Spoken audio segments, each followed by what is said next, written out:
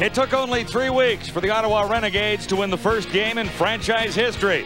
In the process, they created a bitter rivalry with the highly regarded Blue Bombers. Tonight in Winnipeg, the rematch, six days after the feud began. Yeah, the trash talking is now over. Time to see which team will walk it like they talk it. It's time to go to war. And we've got a perfect night for it, 25 degrees. With a view of the Red River down near the Forks, the wind north at 9, just enough to keep the mosquitoes at bay. Coach Joe Paopao has 24 years of experience in the CFL. He started coaching 10 years ago in BC. It's hard to imagine that there was ever a bigger regular season win than the one the Renegades had last week versus Winnipeg. Dave Ritchie begins his ninth season as a head coach, his fourth in charge of the Blue Bombers. He did an amazing job last year, including 12 wins in a row and a 14 and 4 record, best in the CFL. Ready to begin, the Bombers have a little something to atone for. Last Thursday night, Troy Westwood was involved in that, missed his two field goal attempts. He's ready to kick it off, and Donnie Ashley, the speedster from Ottawa, ready to return. No question the pressure on the Winnipeg Blue Bombers in this one. Both teams doing a lot of talking during the week, but Winnipeg really is under pressure to back it up. Bombers won the toss and deferred until the second half. So Ottawa gets the opportunity of first possession.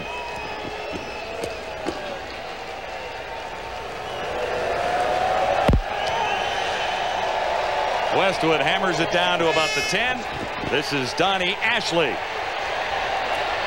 Some great returns as an Eskimo. Not bad to get up to the 35 yard line there. 19 on the return. Quarterback Dan Crowley has given the Renegades a chance to be in all three games in their inaugural season.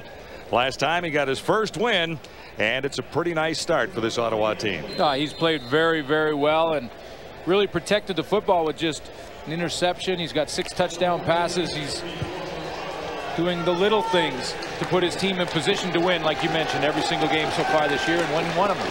Jimmy Oliver, Denny Montana, the wide receivers, split to opposite sides of the field. It's Ashley sliding out of the backfield. Well read by the Bombers. And the gain is limited to about three. Dan Crowley has four solid receivers. Oliver Brown, Cummings, and Montana, who's quickly becoming the go-to guy. Running back Darren Davis needs more yards. And up front, Dittman St. Germain. And they will anchor the line. And that line has just allowed two sacks. So there's Darren Davis, and he didn't have huge yardage last week. From the shotgun, Crowley finds Ashley again. And he'll turn this into a first down. Defensively, it's an awesome front seven for the Winnipeg Blue Bombers, led by Doug Brown, David Benefield up front. Benefield has three sacks already this season. In the secondary, Mustafa Muhammad has one interception along with Tom Europe and two for the corner, Marvin Coleman.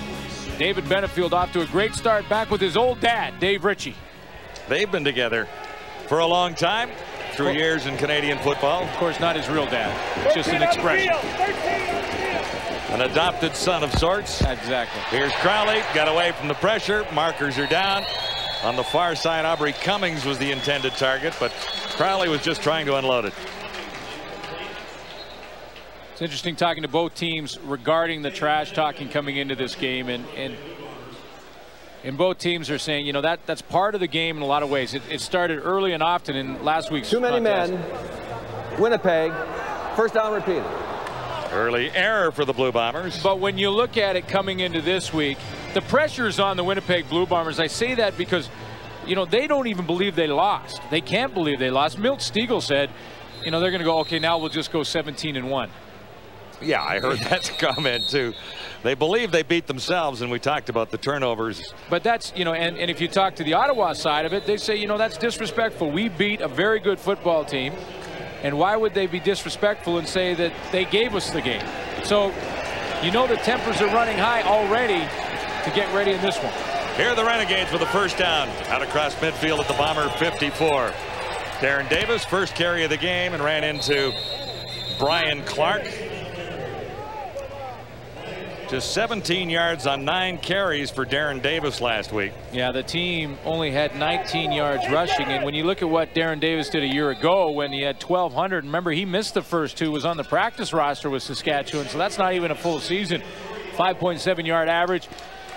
And it wasn't because Ottawa didn't try to run the football. They're up against a very good front seven. Gain of seven, second and three. And Davis won't get to it this time. Lamar McGriggs 36 was in the middle of things down there.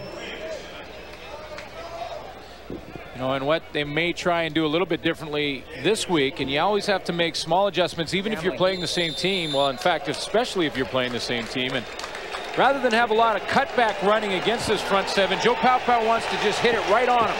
Just go right at the point of attack and see if they can't create a scene. Third and one, and the Renegades are going for it.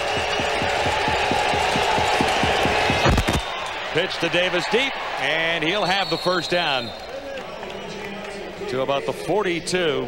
Well, see, and that, and that is a decision by Joe Paopao that plays right into the heart of the Winnipeg football team because their front seven is their heart. And he says, you know what, third and one, we're just going to go ahead and go for it. Just to set the table early in this one.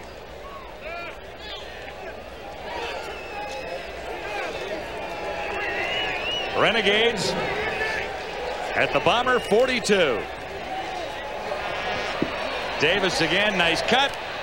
Flags everywhere.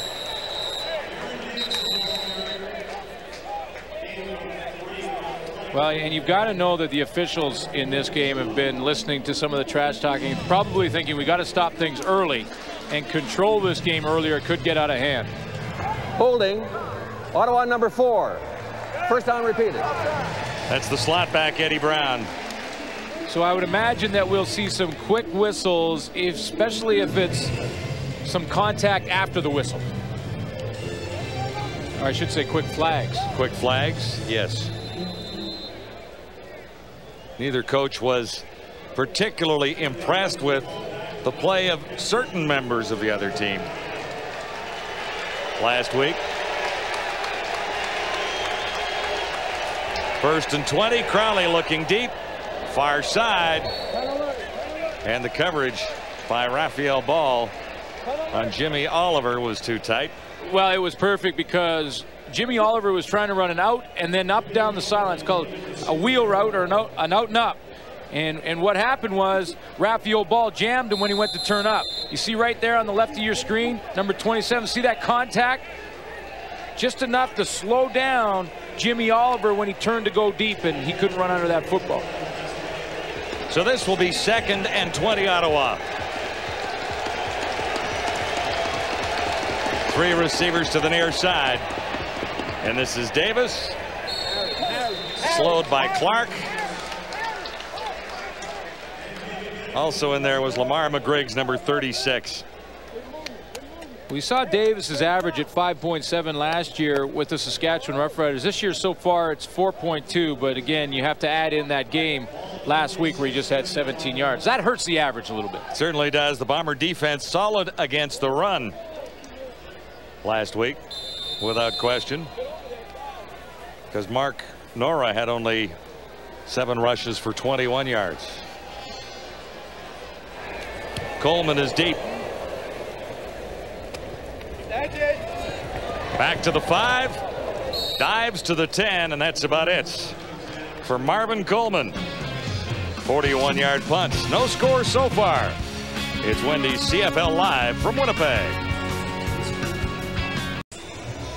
Khari Jones set to lead the Blue Bombers. That's not a breathe right he's wearing across the bridge of his nose. No, that's that's just a band-aid because that's why it was a physical game last week. And John Grace, linebacker for the Ottawa Renegades, got him a little late. Something that Coach Dave Ritchie thought was a little cheap. A little blood seeping through there. You don't imagine they added a little color there. He wouldn't have healed in six days. I don't think they go that far. On first down, Blue Bombers. Pressure is on Khari Jones, and he had to unload in a hurry. Jones with a very talented offense, and you'll notice Bruce and Stegall, the key guys among the receivers. Roberts and Sellers will run the ball for Winnipeg.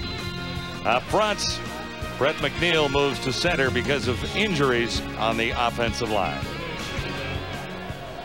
Well, it's going to be a nice matchup. Milt Stegall either against Ralph Staten or Gerald Vaughn throughout this game. Two physical halfbacks for Ottawa against one of the best in the league. In fact, number one receiver in the CFL after three weeks. Second and 10.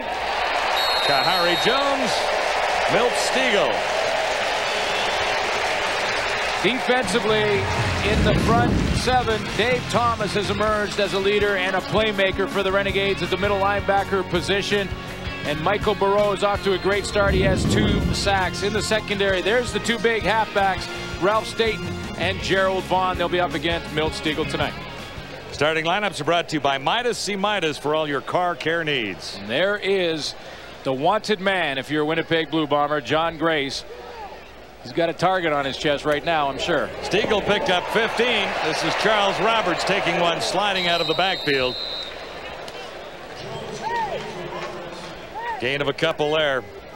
Now, I mentioned Dave Thomas, the middle linebacker. You see how quickly he got out there to try and turn Charles Roberts to the inside. He's a big, huge middle linebacker at about 250 pounds.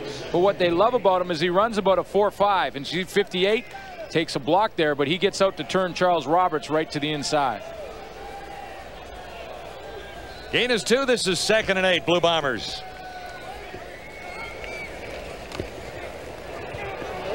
More heat on Khari Jones. Eluded the first rush. At midfield, he's got Stegall.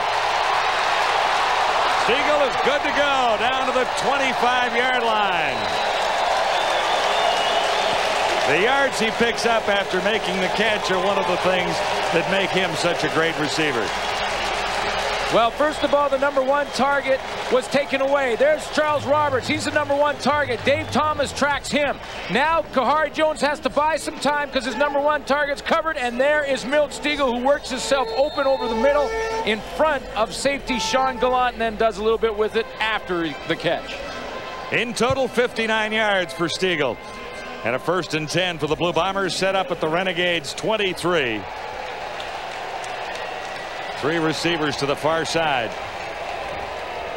Khari Jones looked for Charles Roberts, and he drew extra coverage over there. Keaton Cromartie was swinging out with Roberts. Well, really, there was no play. Well, well, here's you know what Milt Stegall's going to see the football a lot more in this game, even that he's seen so far, and I'll tell you why. This is one of the early ones. This is the one he takes a hit on earlier in this drive. Of course, he caught that last one over the middle. Ottawa is going to run a lot of man-to-man -man defense because they want to put a linebacker quickly onto Charles Roberts. That means that they'll be one-on-one -on -one with receiver and defensive back for Milt Stegall. Second and 10.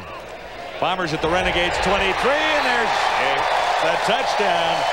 Arland Bruce the third.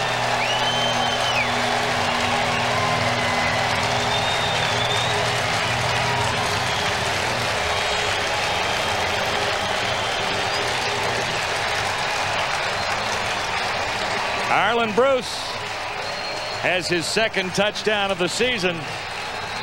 And that's the first time the Blue Bombers have scored points in the opening quarter in 2002. Yeah, and they heard about it all week. So you know they wanted to come out and end it.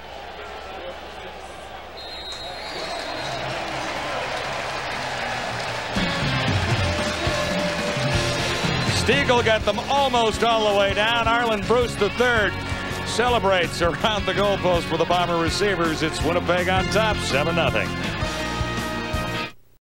Milt Stegall sets it up. Arland Bruce the third finishes it off. He sure does. Got an assist to Milt Stegall because Stegall is going to be number three in a four receiver set right there. See Milt Stegall? He's the deep guy going through the zone. Stoddard comes underneath and it's a busted coverage from the Ottawa Renegades. Ralph Staten has to be deep. He doesn't. He's influenced by Milt Stegall, and number 41 just can't get back to Arland Bruce.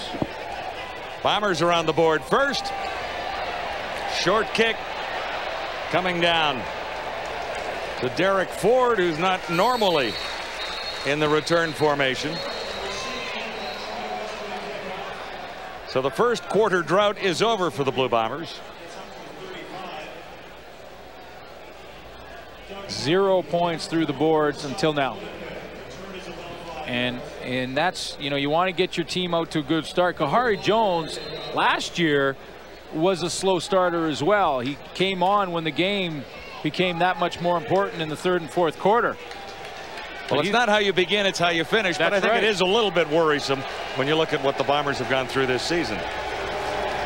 Dan Crowley has Jimmy Oliver, and that'll be a first down for the Renegades.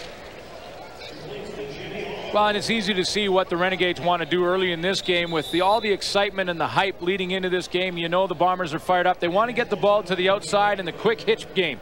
Quick hitches to Jimmy Oliver. They want to get the ball outside and make the Winnipeg Blue Bombers hustle and try and take the energy out of their legs, take the energy out of all this hype, and try getting them running around from sideline to sideline. I thought Oliver had it, and he does. Actually speaking, when you see the chains go out and you've already said first down, you start to second guess yourself. Well, no, don't do that, Hawkeye. You were bang on. And there's Jimmy Oliver this season, has the one touchdown, 180 yards so far. Touchdown versus the Saskatchewan Roughriders in week one. Six catches for Oliver last week for 75 yards. Renegades first down right at the 45. Crowley calm and cool, at least for the moment. And Oki Brechterfield was there. See, but when the game plan is to get the back quickly to the outside of your running backs or to your receivers, and they are covered, then that can be a problem. Anoki Brechterfield, number 19, right off the edge. You're going to see him working one-on-one -on, -one on the outside. He uses his arms, great strength, great power, and gets to Dan Crowley, who had to hang on to that football because his number one target, Darren Davis, was covered by Brian Clark. Second sack of the season for Brechterfield. He had two all of last year. So this is second and 15 after the five-yard loss. Crowley goes deep. Out. Oh. Montana was in behind Coleman for a split second. Well, he was behind Coleman, but it was an inside pattern. It was a shorter pattern, and Marvin Coleman, John, had jumped it. He that was an in route or down and in from Denny Montana. Marvin Coleman was there first. That's the veteran Coleman. He sat at about 10 yards to the left of your screen. And when this ball's in the air, watch Coleman jump up in there. Like if that ball's online, it's right in the five on his jersey. Coleman is now back near the 23. Ready for Harper's punts. Won't have a play on it. Far side trickling out of bounds. It's the Bombers on top. That was a 46-yard punt. This is Wendy's CFL Live from Winnipeg. Great beginning for Khari Jones on home turf here in Winnipeg tonight. Yeah, when you start and get a nice drive, six plays, and go, oh, just one yard shy of 100. A couple of key plays to Milt Stegall, one a 59-yard catch. And then the touchdown to Bruce for 23. And that's the 7-0 advantage for Dave Ritchie. And the Blue Bombers. He worked his troops this week. Worked oh, him hard. I can imagine he must have. From the 23, first down. Jones to the near side. It's Drover making the catch away from one. Tough to bring down. Now, Jeff Drover's second catch of the season. Might have hurt his hand there at the end of that, fighting for extra yards. Jeff Drover just refusing to go down. And he's not going to tell anyone if his hand is hurting a little bit. One, two, three shots at him. Here comes another. Wait a minute. There's well four. Oh, that was the helmet right in the right shoulder. And right after that, he grabbed his hand. Couple of big hits for 56, Keaton Cromartie. Here's Charles Roberts. A penalty marker went down. Mentioned Dave Ritchie worked his troops hard this week. Now, now, these are the rumors that I hear flying around as the week goes on, that there was a Winnipeg day off that team ended up in full pads. Ooh. Offside. Ottawa. First down. Now, I say that because back in Ottawa right now, Eric Tillman and Dave Ritchie, of course, go back. Eric Tillman, the general manager for the Ottawa Renegades. And I've got this sneaky suspicion that some of the things that they said after the game may have been deliberate to maybe see if Dave Ritchie would work his troops a little harder and then maybe they're a little tired in the fourth quarter. It could be a strategy, could it? Something along those lines? I don't know. Jones in more trouble here, and he'll go down this time. Cromartie was one there, and so was Kelly Wiltshire, who was the defensive player of the week for his play last week against Winnipeg. Kelly Wiltshire, number one right there. I also saw Mike Moten involved in the play. Pretty good all-out rush. You see Wiltshire, he's just on the rush. There's Moten. He's going to end up getting first contact. Khari Jones rolls out. He only has two receivers to look at. They're covered, and, and he has to look through a six foot six, 283 pound Mike Moten. Loss of 15, second and 25, and Charles Roberts won't get but two yards of that back. So a big defensive stand for Ottawa. Yeah, and right after now the Bombers had scored with relative ease. Well, right now, John, what they're doing is they're taking away number one, and that's the number one target for the Winnipeg Blue Bombers. And he wears number one. That's Charles Roberts. And what they like to do is just swing him the ball and get him into space. And Ottawa's answer to that so far in this game in the first quarter is to get a linebacker on him immediately rather than drop off. Get a linebacker up there on him right away and take away the throw. Early happy birthday wishes to Bob Cameron, who turns 48 at midnight. 48 years young. 48 years young and still kicking them high into any wind that will now, blow across this stadium and now in Winnipeg. He's just, now he's upset because he has to reload. Time count violation. Winnipeg number six. And he has to take Still the time down. count and he has to kick it again. In his 23rd season in the CFL. He doesn't look a day over 38. No, we'll change that graphic the next time you see him. At, At midnight, midnight, it automatically well, changes. Flips over. We've Yes. got it. We're right on top of it. It's in the computer that way. Now And, and, another now one. Wade Miller takes off and and hits Jason Kralt. And and now it becomes a problem for Winnipeg. Because you know that first time count penalty to get everyone lined up right isn't a big deal. Five yarder. No, I mean you're you're better to take that five yard penalty Then have a block kick. and have a block punt. Absolutely. But now they're going to back him up again. And now and now Bob Cameron punts from his goal line and any return at all Donnie Ashley's in field goal range. Charge was on. Cameron got it away. Not deep. Ashley at midfield. A little spin surrounded by Blue Bomber jerseys. Two on the return, 35 on the punt. And a penalty flag flies. We'll get back to check out that story when we return. Ottawa Re Renegades penalized for unnecessary roughness. It was on Donnie Ashley at the bottom of that pile. The returner, you know, both coaches are, uh, have to be a little concerned that the players can control their emotions. Darren Davis stopped in his track by Denny Fortney. Looking back to last game, 85 yards unnecessary roughness penalties against the Renegades last time. Well, in, in case like this where the emotions are running so high, one of the keys is to control those emotions and don't be the team that gets that last hit in, that last retali retaliation hit, because that's the one that gives you the 15-yard penalty and puts your team in a bad hole. And this isn't a deep hole for the Renegades, but look where they would have been 15 yards upfield to begin this drive. Now they're looking at second and long behind the intended receiver, and it almost ended up in the hands of Mike Maurer. Well, I'm not so sure that Rylan Wickman, number 55, didn't get his hand. You see 55 going right up the hole there. Well, actually, that looked like it did come out of there clean, but he got some good pressure going one-on-one and pushing Carl Coulter back there. Oliver was the target.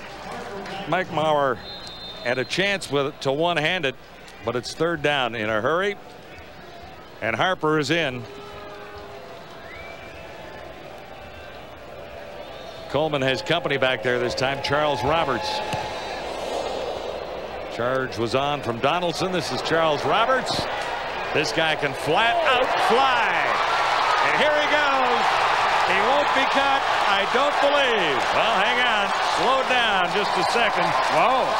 And grabbed by Grayson Shillingford. Wow. Grayson Shillingford. Huge burst of speed for Shillingford. And I thought Roberts was gone. He took two back last year. Well, normally he would be. There's Roberts right at the back corner of your screen. Now watch, one move up to the left and then back across the field to the right. Shillingford is behind by about seven yards, but look at him make up ground. Whoa, did he ever. Wow. You see number eight right there. See, right now he's about seven yards behind, and this is this is a touchdown for Charles Roberts. Shillingford doesn't quit and catches him, saves a touchdown. 57 on the return. And the Bombers are set up at the 29. Here's the big guy, Mike Sellers. Hasn't been used a lot to carry the ball. And was wondering about that this week, but he gets his number called early in this one. Well, it's tough when Charles Roberts in the backfield to find a way to get Mike Sellers the football. But they will as the season progresses. And talking to Paul LaPolice, the offensive coordinator, he definitely wants to see Sellers carry it and catch it. He's got very good hands for a big man. Sellers wants the football, but if you're running back, everybody wants the football.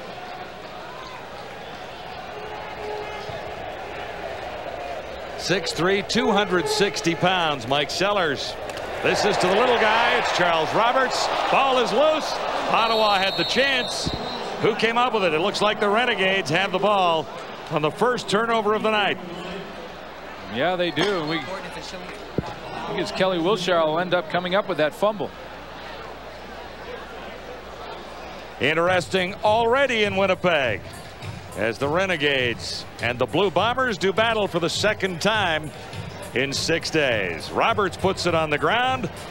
Strip loose and the Renegades are first and 10 when we return. And we're ready for it here in Winnipeg.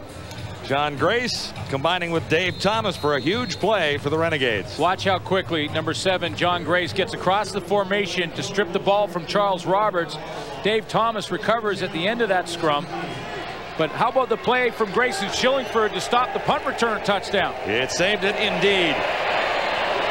Davis was in big trouble and he's found more. Brian Clark playing extremely well in that Bomber linebacking core. And here are the numbers thus far. Well, both teams with four first downs. Fairly close when you look down the line, although the passing yards for the Ottawa Renegades way down. Now they're they're going with the game plan to throw those little hitch passes out to the wide receivers and try to dump the ball to their running backs and Darren Davis, but sooner or later Dan Crowley's going to have to go down the field as well. Loss of one, second and 11. Crowley to the near side. And Denny Montana makes the catch. They call it a catch. catch. Coleman was covering, and we'll see where they spot the ball. It will be enough for a first down. And Dan Crowley will use his legs and, and, and stretch the pocket out. This is full out rollout to get that defensive line running, get them tired out. What Ottawa are hoping is that in the fourth quarter it pays off. The big guys up front, Doug Brown, Denny Fortney, get outside containment, throw that strike to Denny Montana. Whoa! Harold Nash guarded loose. They say no catch. An incredible hit by Harold Nash. Now the talking begins. Once more.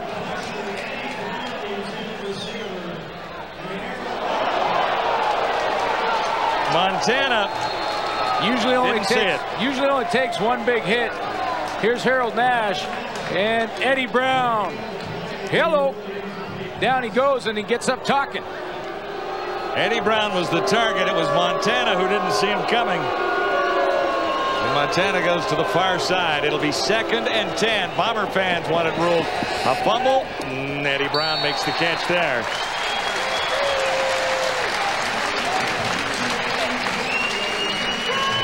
Mustafa Muhammad on the tackle.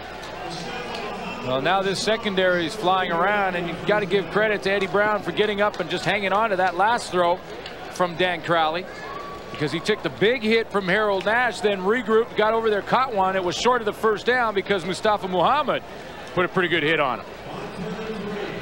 Now Eddie Brown wants to talk to his teammates and say, let's start being the hammer and not the nail.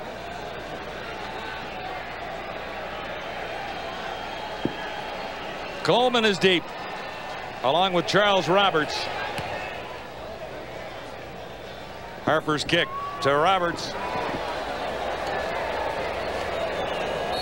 And they had Charles Roberts absolutely surrounded. One for the highlight reel. Nash the hammer. Brown the nail. Wendy's CFL Live from Vancouver tomorrow night with the Ticats in town to take on the Lions. Hamilton coming off a nice win. The Lions looking for number one. Yeah, their backs are against the wall, and if you want to go check out what should be a physical game, at least from, well, for sure from the BC point of view, they've got to win.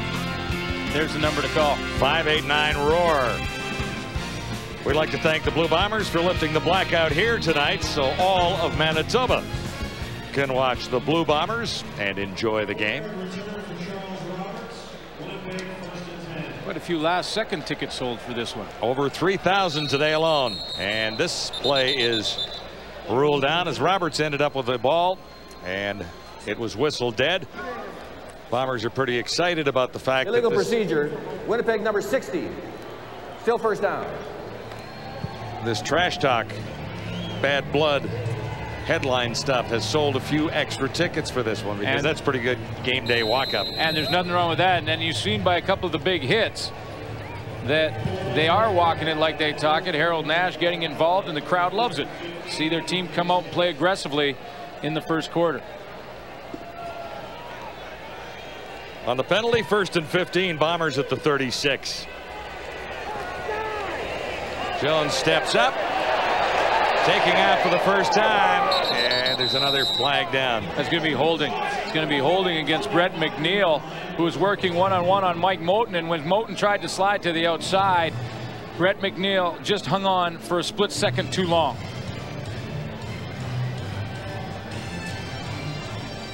Mike Moten has been involved early in this game. Winnipeg 57. First down repeated. Number 98 is going to work to the outside. Watch 98 eventually right in the middle here of your screen. See, he works the outside. See that hole to the left shoulder pad? That was the one. That split second too long for Brett McNeil. A net loss of 19, making it first and 25. Bombers back now at their 26. Jones to the far side. Jamie Stoddard made the catch. There's not much running room after that. Last year, Jamie Stoddard really started to settle in in his second year in the Canadian Football League with 526 yards, had four touchdowns, got a chance to get his feet wet a little bit. Getting a chance to play a little more tonight. Just two catches, 15 yards coming into this one tonight. And the Bombers looking at second and 17. Now up to the 34. Khari Jones shotgun looks deep. And a penalty marker comes down near the 50 on the coverage. Ricky Bell wants to go over there number 25 and find out what the call is quickly because he thinks that ball was so far overthrown that it was uncatchable. To the left of your screen, Ricky Bell is the deep player, number 25. Wiltshire had jumped Charles Roberts. That for forces Illegal block Khari to Jones to go deep. Winnipeg number 50. Forward pass interference. Ottawa 25. Second down repeated. So nothing changes as a Well, result yeah. of two penalties. Ricky Bell catches a break though because that ball was overthrown and he really didn't have to go and put that hit the Winnipeg receiver but because of another penalty up in the line of scrimmage and I believe he was talking about Mike Sutherland I don't see a 50 in that offensive line at this moment I don't have a 50 on the Bomber roster anywhere. Khari Jones, second and long again. Oh, oh baby what a play Just about. As Vernon Mitchell got in the Oh, way oh, of an oh, oh. almost perfect throw to Arland Bruce Well, III. Arland Bruce wide open down the seam, except for the fact that Vernon Mitchell showed some great closing speed. Defensive backs, great clothing, closing speed. Look at Mitchell. He makes up about 15 yards of real estate to knock that ball out of the air, or Arland Bruce is right down the seam.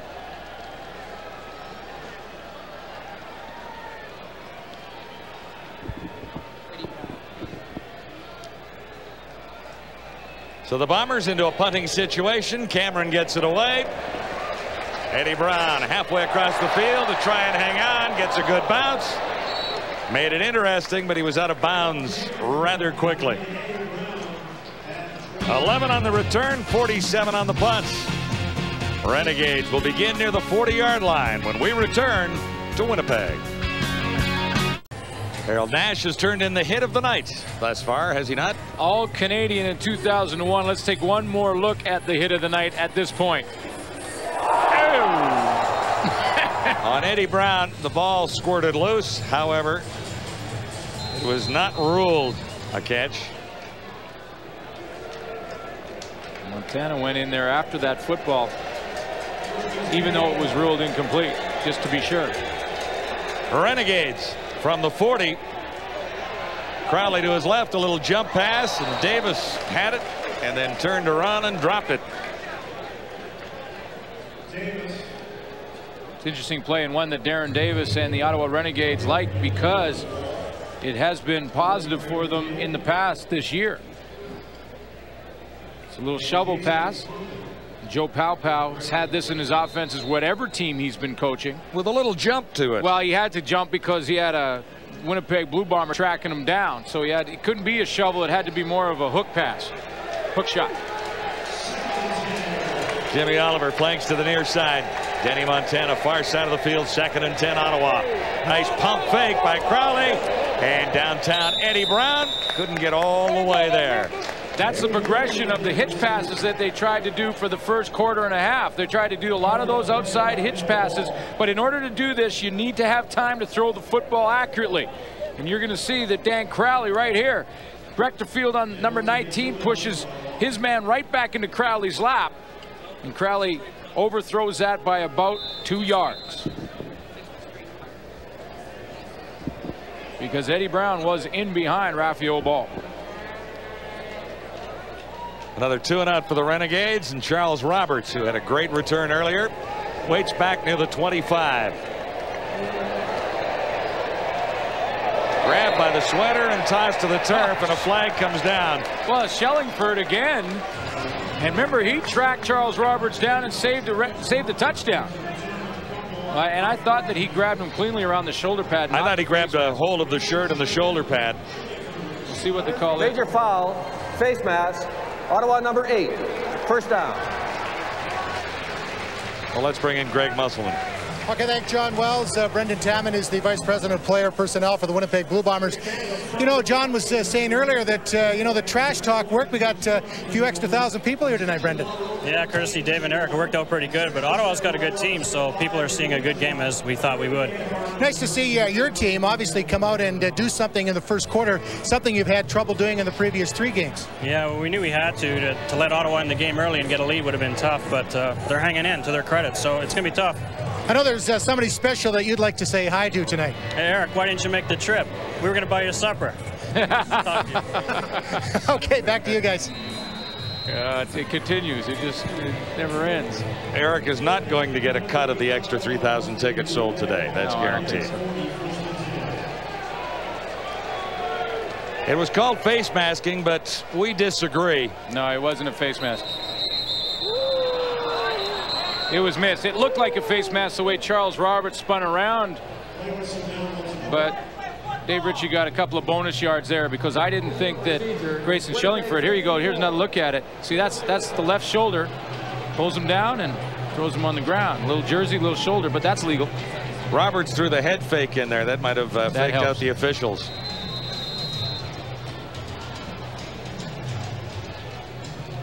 Procedure call spins it to first and 15. So one very impressive scoring drive for the Blue Bombers in the opening quarter. And neither team has moved the football effectively since that. Heat was on Khari Jones. Stoddard was the target. Ralph Staten was coming. So you how Charles Roberts is being tracked. This time they'll Ottawa will use safety Sean Gallant and and and here's the key. Sean Roberts has gone this way. Sean Gallant has gone with him to safety. There's no one in the middle. And you will see Milt Stegall, if they keep doing that, Ottawa keeps doing that, Milt Stegall will go right down that hole and try and get in behind where Sean Gallant just vacated. Khari Jones looks at second and 15. Charge on again. Got it away far side. And it's a great catch on the far side. But a marker is down back behind the line. And that would indicate the holding area. Second catch for Jeff Drover. But, this is pretty. But let's see what the officials come up with and see if this catch, which is really nice. I mean, that's that's going completely horizontally to come up with the football. Major foul, unnecessary roughness. Oh, Winnipeg boy. 57. After the play, first down. Well, those are the ones that just make coaches go gray. And you can see Dave Ritchie has seen a few. Well, Brett McNeil got called on the holding earlier. That one was against Mike Moten, and now the frustration get to him a little bit, and now he gets that late hit call. Bombers will get a first down, but it's back at the 38 instead of where Drover made the catch. Jones to his right. Drover again, and he's got seven, maybe eight yards. Donald Ruiz was there. Now it's Khari Jones' turn to use the pocket, get outside. See slide protection up front. That means all the offensive linemen slide to their right. Khari Jones in stride, delivers that football to Drover, who's got a couple already in this game.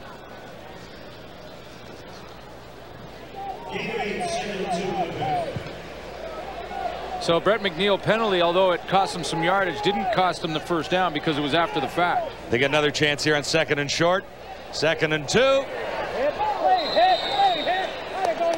Marcus Howell was the intended receiver. No penalty on that, but there is a flag back near the line of scrimmage. Major foul, roughing the passer, Ottawa 90. First down. Clinton Wayne. Clinton Wayne. Clinton Wayne is right here. Let's take a look and see what he does. He gets cut at the line of scrimmage. He steps over him. That 90 or 98? Yeah, well, 90, 98, 98 was right beside him. He was saying, no, you can't do that, Clinton. Uh, that's why. So I it is 90. Yeah. We had it right. Yeah.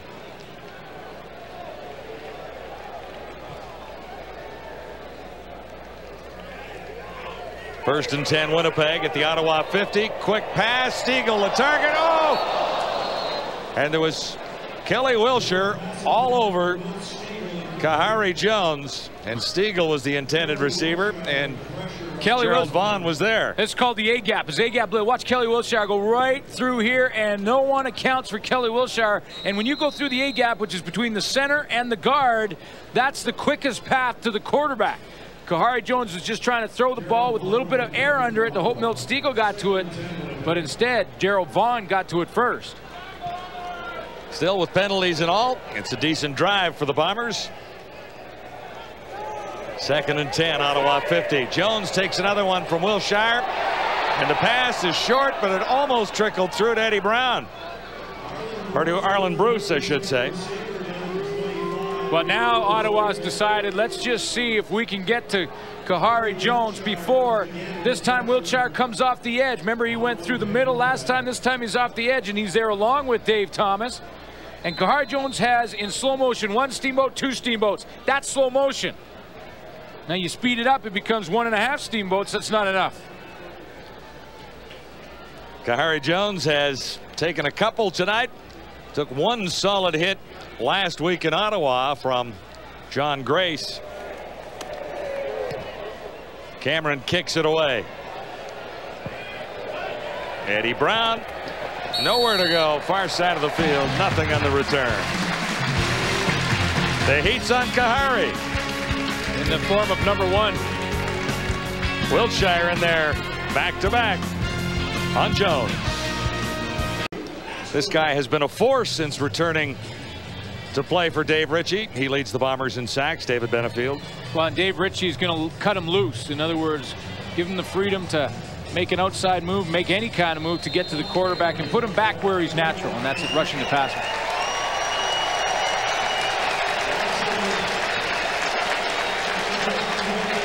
Renegades beginning at the 12. Crowley had it tipped and intercepted. McGriggs comes up with the ball. Lamar McGriggs. First interception going that way. Tipped at the line. Right to Lamar McGriggs. It's interesting, Ryland Wickman was over there along with Wayne Weathers. Wayne Weathers has already got his hands on one ball. That's the second one. I love what Lamar McGriggs does after the fact. Little contact there on Jimmy Oliver. Rather than run outside, he puts the brakes on and tries to find Oliver again. He wants to hit him one more time. Linebackers, even with the ball in their hand, can't get out of the out of the habit of hitting people. So the turnover to the Bombers sets Winnipeg up in great shape at the seven-yard line. Assist goes to Wayne Weathers.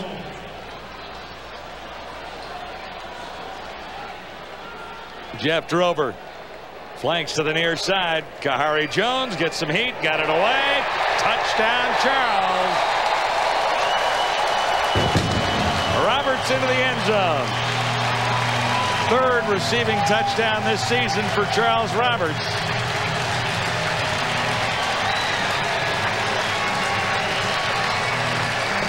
And that's the way you take care of pressure on the quarterback. That play is no different than like a screen pass. And a screen pass is basically designed to relieve pressure.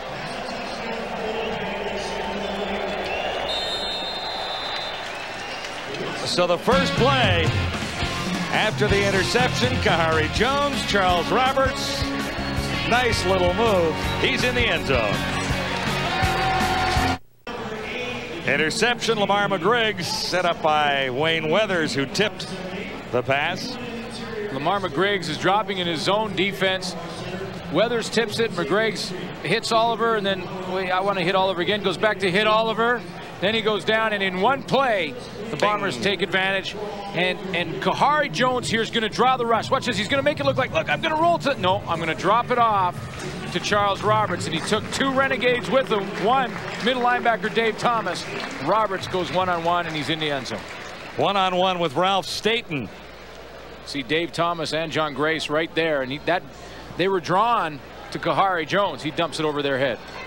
Staten looked like he was playing goal there for a minute oh, on yeah, the line I mean, because he was stopped dead in his tracks. You could be the best tackler in the history of the universe and not stop him at that well, point. Particularly when you're standing still and trying no. to react after that. No way. Couple of touchdowns for the Blue Bombers tonight and a 14 to nothing lead. Here's Eddie Brown on a huge kickoff back to the goal line. Markers are down and so is downtown Eddie Brown. Well, Khari Jones and Paul LaPolice likely have talked after the last series. And watch Jones come this way and draw the both Dave Thomas and John Grace, number seven, number 58. That allows a little space for Charles Roberts, and there's the one-on-one -on, -one on Ralph. That's a tough position to be in for anybody.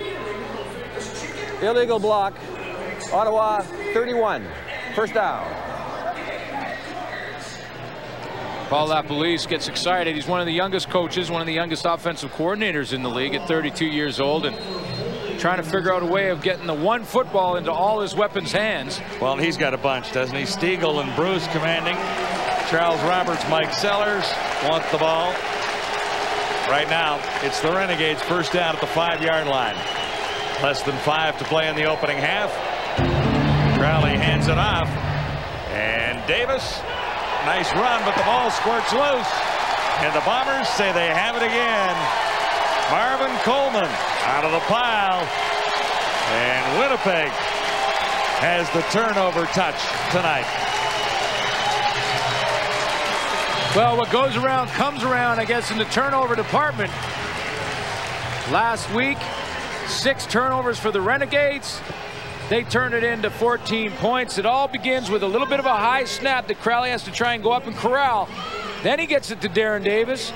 Not a bad run, Glenn. Well, well, Denny Fortney comes back, and I think it was his own man, Denny Montana, trying to get a block that knocked the ball out of Darren Davis's hands. So Davis drops it. Coleman comes up with it. And look where the Bombers are. Almost a replay of where they were in the last sequence. Just outside the 10-yard line this time as Khari Jones looks to the end zone. Touchdown. Marcus Howell. That's his first of 2002.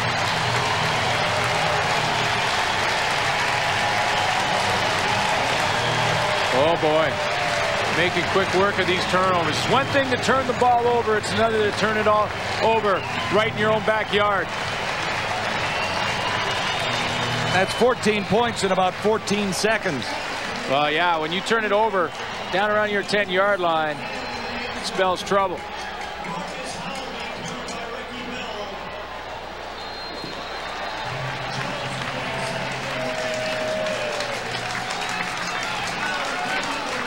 Marcus Howell celebrating his first touchdown reception this season. Getting a starting job as one of the Blue Bomber wideouts. Well, Darren Davis is used to looking at the tacklers for the Winnipeg Blue Bombers. He's going to try and avoid them, but he doesn't count on his own man knocking the ball out of his hands. Watch Denny Montana, 89, right there. The back of Denny Montana knocks the ball.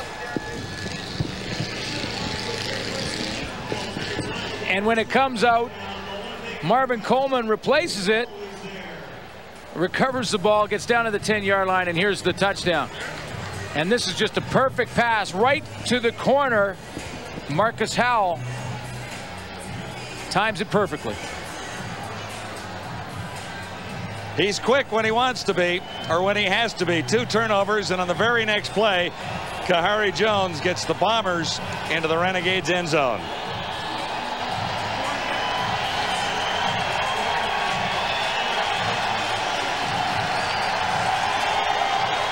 Well, heading into this game, the first quarter was terrible for Winnipeg, pretty good in the first half for the Ottawa Renegades. So far in this first half, it's the opposite. Absolute opposite. So Paopao has to figure out a way to get the Renegades on the scoreboard in a hurry. We knew the Bombers would not take this one lightly, did we not? No, and again, you know, it's all you the way the Winnipeg Blue Bombers talked about last week, they said, you know, we gave them the game with all our turnovers. Now, Ottawa can't be saying at halftime when they go in there saying, guys, we're giving them a game because of turnover. Winnipeg came to play. They're fired up, they're hitting, and when they do that, they're creating some turnovers. Montana got a hand on it, kept it out of the end zone. Not a usual returner back there. And the Bombers read it well and drag him down.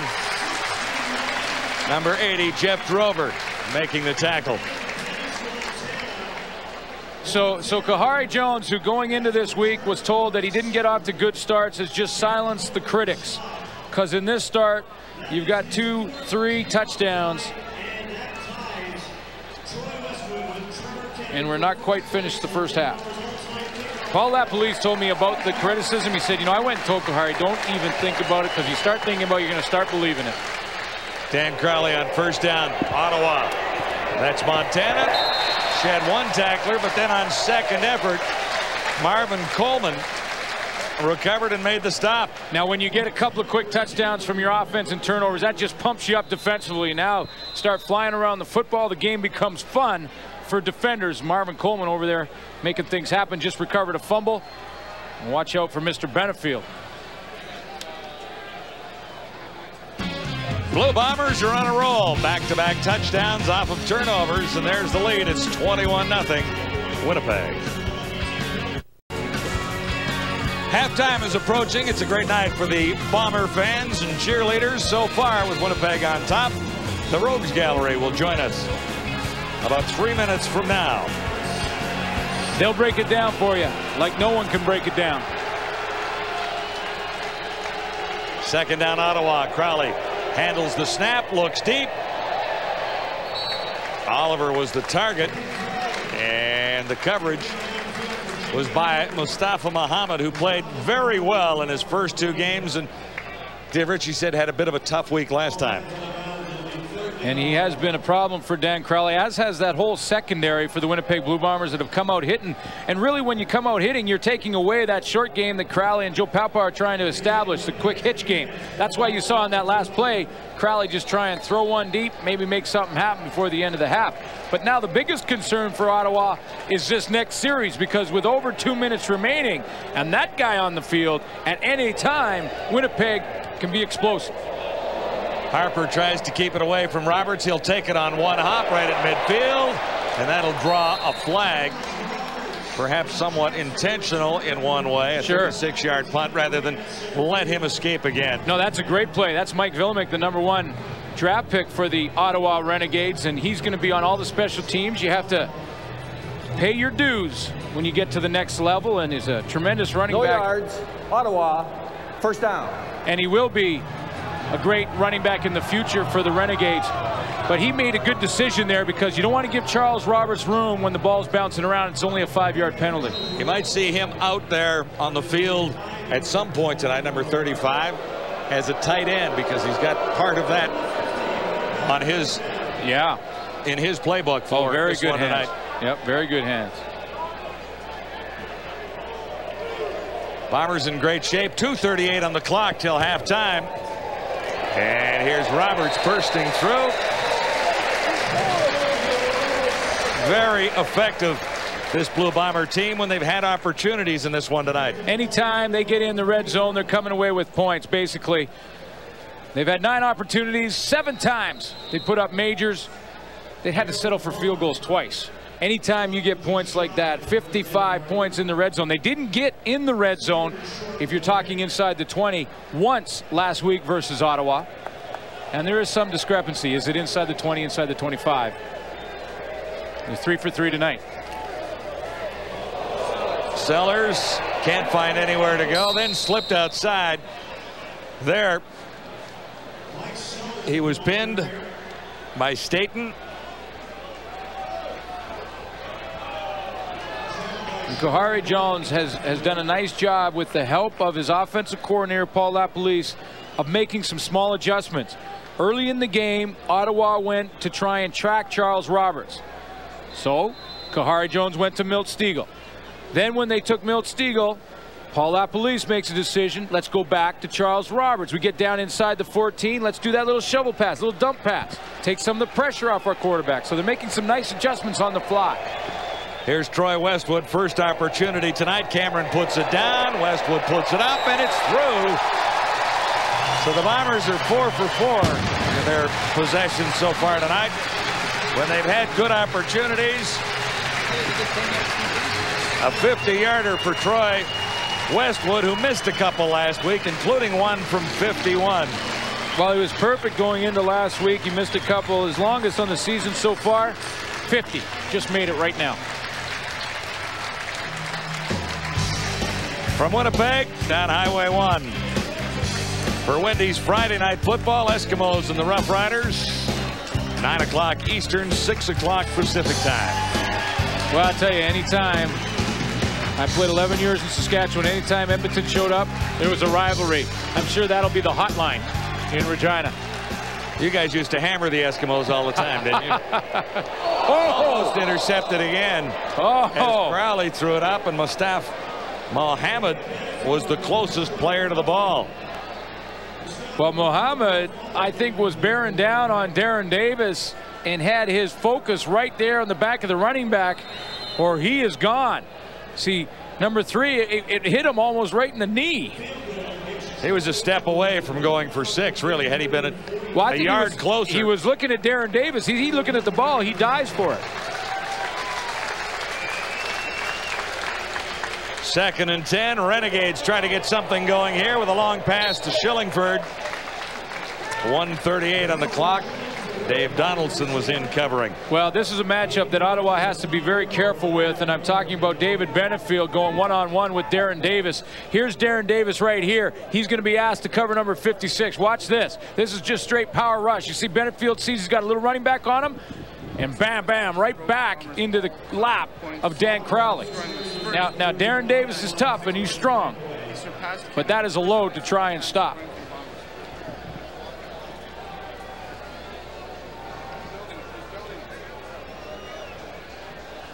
Harper back at his 20 and a flag comes down. Charles Roberts wrapped up by Donald Ruiz.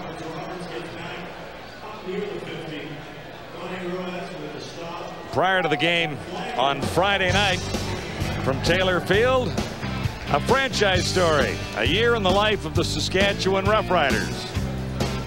Put together a couple of years ago when the Riders were in the midst of a tough season. Transition. They were in transition. Transition. And that'll be followed, of course, by the kickoff at Taylor Field. Nice start to this season for Neon Green's Saskatchewan Roughriders. Well, and Joe, and one. Joe Paopao, John, was a member of the Saskatchewan Roughriders back in 1984. And a nicer start for the Edmonton Eskimos, unbeaten going in there. So it could be an interesting game. One note here, Troy Westwood has taken the lead with six points tonight among all-time Blue Bomber scorers, surpassing Trevor Kennard. First place in the Bomber list. Kennard finished his career with 1,840 in Westwood.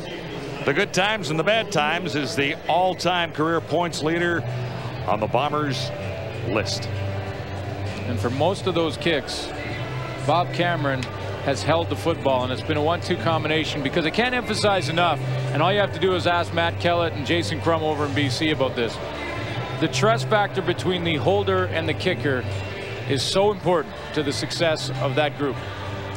Well, only when Cameron was injured a couple of games last year would this two Yeah. have been apart because Cameron was the Iron Man until he had a little back problem late last season. Well, the kicker has to trust the holder completely, and and you know it's a good situation in Ottawa too because you have the veteran Glenn Harper as a holder, and so Cameron. He knows how to calm the group down. He can keep the huddle away from the kicker, which is part of it. Because in the big kicks, the huddle and all those offensive linemen, they all of a sudden in the in the big kicks for the game-winning field goals, they think they're kicker coaches and they go over those big offensive linemen. They go, keep your head down, make sure you don't look at the, you know. and it's up to the holder to keep those guys away. And and for Dave Miller Johnson in Ottawa, he's got a nice situation there too, because he has Glenn Harper as his holder, and Harper, of course, has 13 years experience in the CFL, so he can settle him down. Miller Johnson is the new kid on the block. Slight delay here while Michael Borrell, defensive end for the Renegades, was helped to the sidelines. Khari Jones and the Bombers have lots of time here with a minute 38 to go. Howell down the sidelines. And the coverage by Ricky Bell was awfully good. You know, and Khari Jones over the last couple of years has done this a bunch, and that is just to say, okay, I've got one-on-one coverage, and one-on-one coverage I'm happy with. You know, a lot of guys, quarterbacks in the league that want to go deep, they'll wait till the guy's open. But Khari Jones saw Ricky Bell stride for stride with Marcus Howell, much like he was on the touchdown to Howell, and he just threw it up there. He's got confidence in his guys that they'll make the play. Second and 10 at the 49. Jones has Roberts sliding out of the backfield. And the Renegades played it well, dropping him at the 50. All Canadian Khari Jones started two and two last season in his first full year as the Bombers number one guy. Finished 14 and four. That's the best record Dave Ritchie has ever put together as a head coach in the Canadian Football League. And in that 14 and 4 run, that incredible win streak that will take an awful long time to duplicate, wouldn't you think? 12 straight. 12 straight wins in the season. And, you know, some say they got a lot of breaks. I say when you get breaks, you work for them. And it's a lot of hard work and some good personnel moves that has got this team where it is. Cameron's kick coming down near the 15. And the Bombers are fired up. That's Harold Nash. That's an example of the hard work, though, and the little things and special teams. You see Harold Nash down there, and he's a guy who has to play every down on defense and then covers a kick and covers like a, a wild man, number double zero. Look at him go down there. Wade Miller's a special teams guy, but Harold Nash has to start. He's in there making the tackle on special teams along with Byron Capers. Major foul, unnecessary roughness, Ottawa 39, first down. Couple of those against the Renegades tonight, and with 54 seconds till halftime, Dan Crowley faces a long march to get any points in this first half now. Yeah, you look at those turnovers. One, a ball that was batted at the line of scrimmage, not really Dan Crowley's fault. The other, a fumble by Darren Davis. So you can't credit the turnovers to him, but I tell you something, this has been a, an Ottawa offense that's been a lot more productive leading into this week than they are so far in this first half. Well, think of the starts these Renegades have had in earlier games this season. Back to yeah, they've had a lead week one against Saskatchewan, and they settled for a loss there, but after overtime, and then the huge lead against the Eskimos in week two, 24 7. Mm-hmm. And the Eskimos roared back to win that one going away, but they were in big trouble for a while. Well, you know, and, and for a head coach and his team, especially a young team that's, and I say young as far as playing together, it, it's it's tests throughout the season that you find out about what kind of team you have. And right now, they haven't had this test. They have not had to come back in the second half from a deficit. So this will be the first time this season that this group of athletes have to try and do that. Well, let alone a 24-point deficit, as it looks right now like it will be. Well, and and the pressure on them right now in this drive is to get at least one first down, and there is pressure because with 57 left, 50 seconds left in Canadian football, if you go one more down and out, Winnipeg Blue Bombers have a chance for a play and a field goal attempt.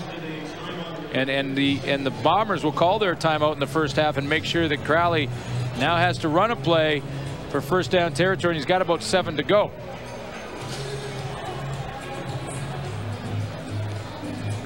Well, here's here's what happens now in the in each locker room at halftime. Joe Paopao goes in there and says, "Guys, you just got to relax. We've we've handed the ball to him on our 10-yard line twice. That's turned into 14 points. So let's say they have a 10-0 lead. Let's just go win each series. Win the third quarter is the message from Joe Paopao. And for Dave Ritchie, he's just got to go in there, pat him on the back, say, guys, get some water, and let's go do a little of the same. This is second and six Ottawa. Crowley faked it once and had no one there. I don't know if Davis was the intended target. He was the closest renegade to the ball. But all of a sudden, they'll give it right back to Winnipeg with lots of time remaining. Well, Crowley's trying to complete this screen pass, but he's got Brian Clark right in his face, so he has to throw it up and over Brian Clark, and it can't get to Darren Davis. So, 46 seconds left now. Winnipeg with a golden opportunity here.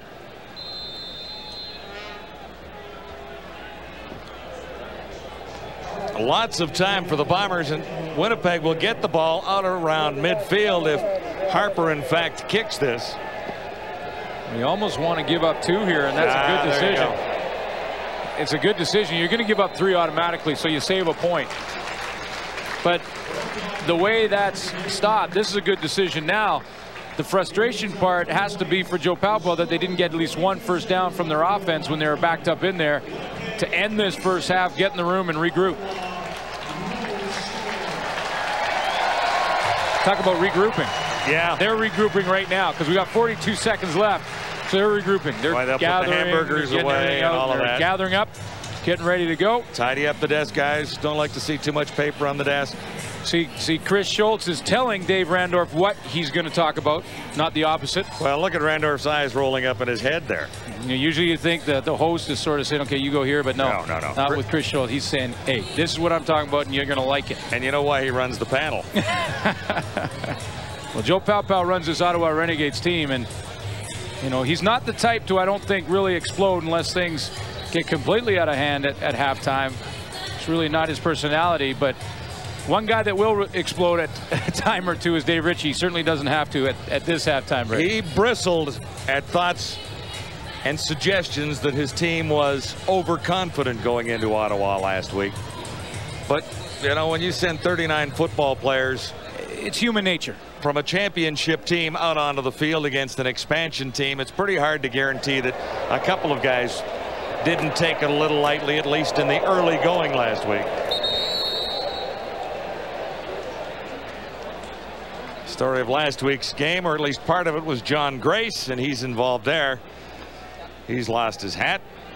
It's good contact coming in there. He's still got his mouth guard. Usually that mouthpiece is attached to the helmet. That's part of the equipment. You hook it onto the helmet. Noki Brechterfield, look at that hit to hit, head to head. There goes the hat.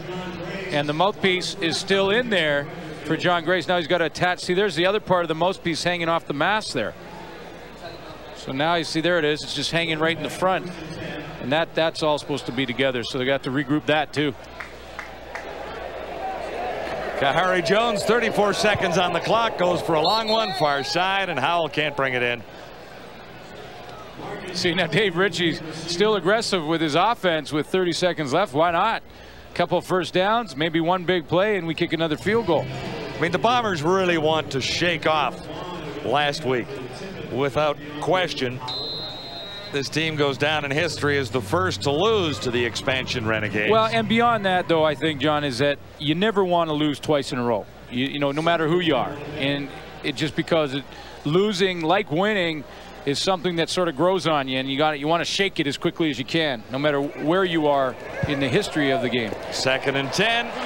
Bruce made the catch. He'll have a first down out near the 52. 23 seconds till halftime. Khari Jones is on a nice little roll. By the way, the last time the Bombers had a shutout was back in 1988. Guess who they were playing? The Ottawa Rough Riders. Rena Roughies.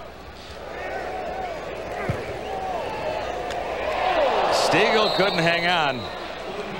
Vaughn was covering. Bombers really struggled in the first quarter coming into this game tonight.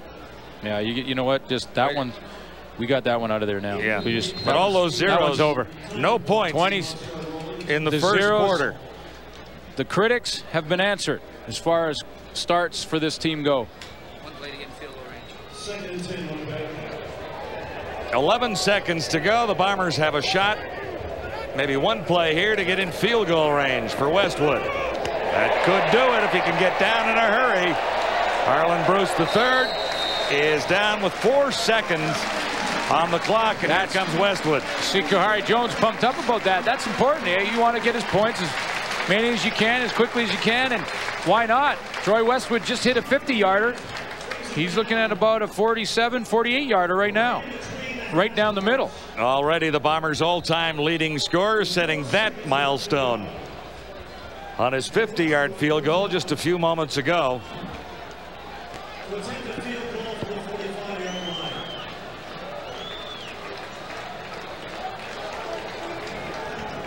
Zeros on the clock.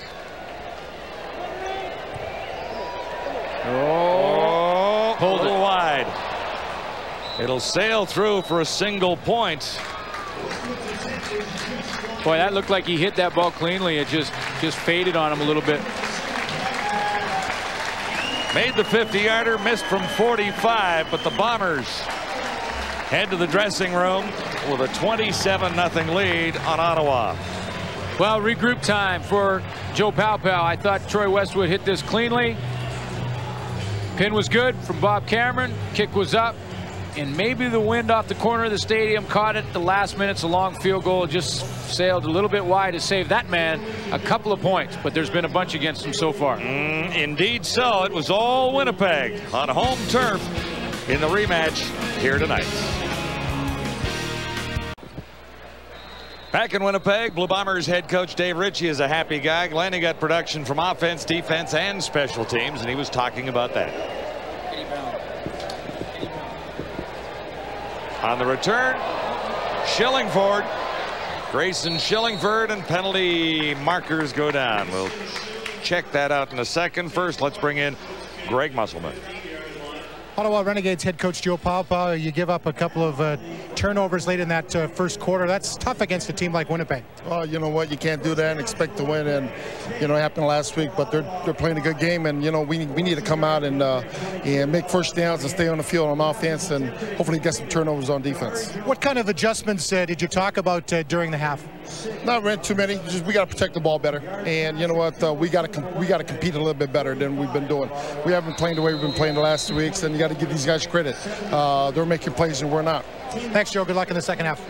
Problems continue for the Renegades. Holding call on the return, and that means they begin at the 25.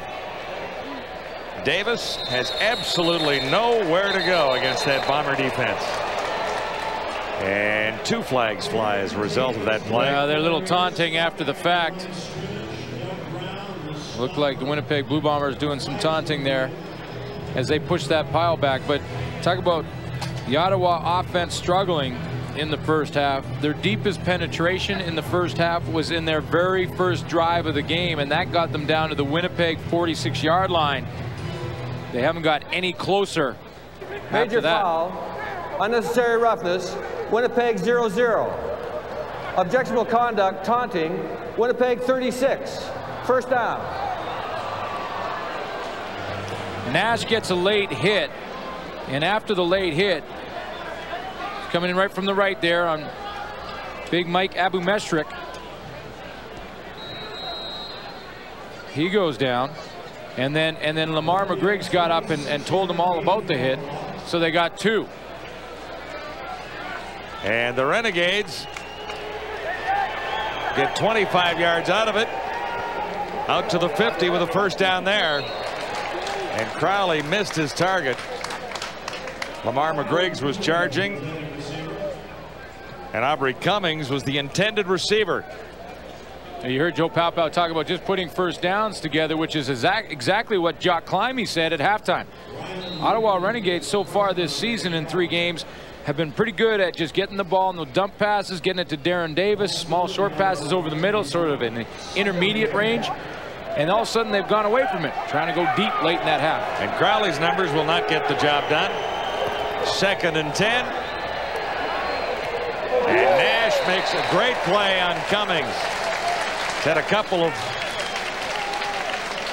great moves tonight. 0-0 Harold Nash. You know, sometimes players in certain games just get into a groove and doesn't matter what position you play. Quarterback's most notable, but I think Harold Nash right now is into that groove. He started the game with a big hit on Eddie Brown. That set the tone for his entire team. And he makes another play there. Crowley wanted the penalty, but uh, not on not on this one. Roberts is deep along with Marvin.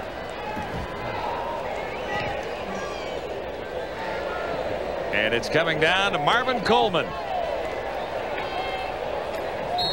He's out to the 20, actually stopped at about the 19. First and 10 Winnipeg after a seven-yard return.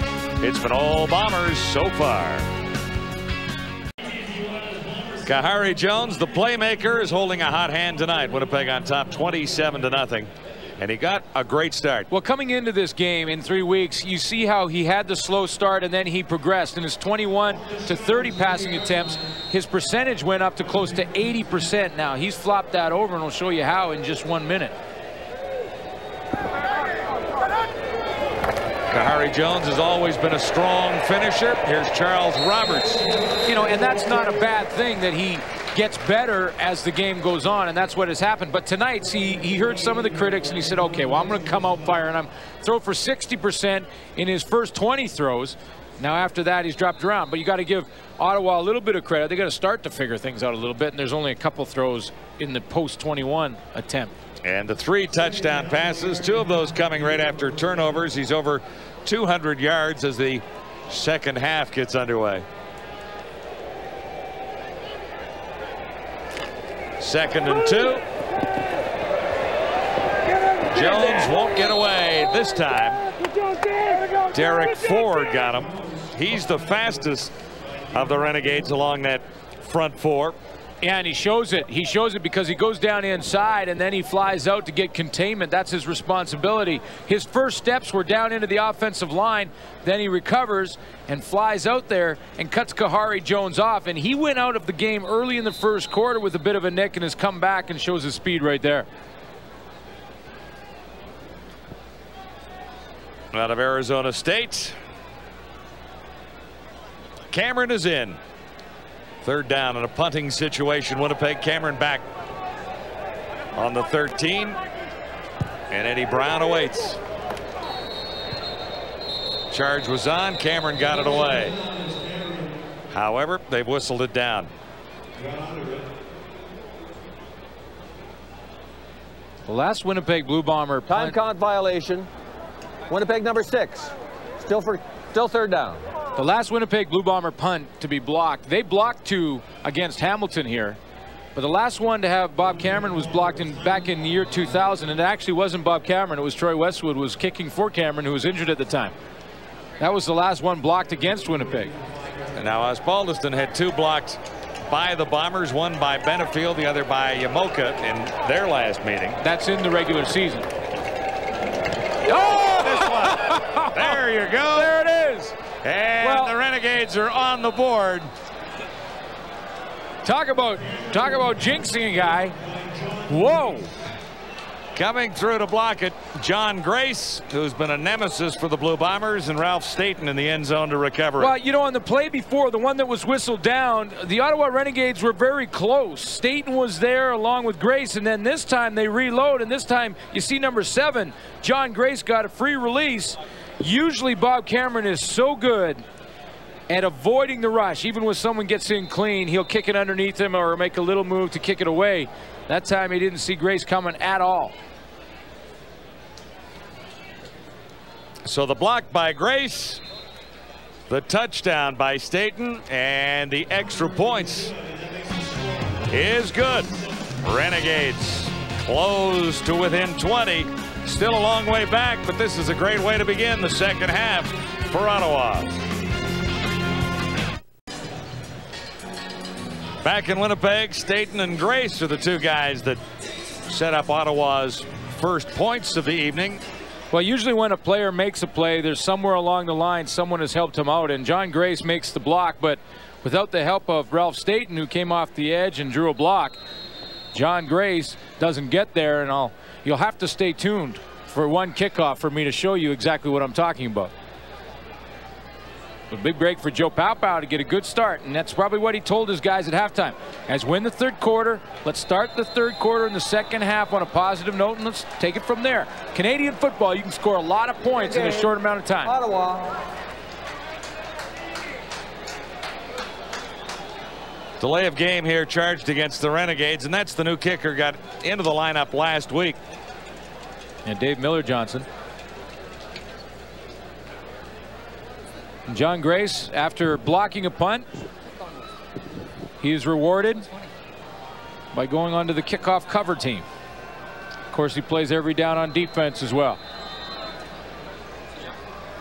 A lot of penalties for the Renegades in this one tonight. 15 for 136 yards.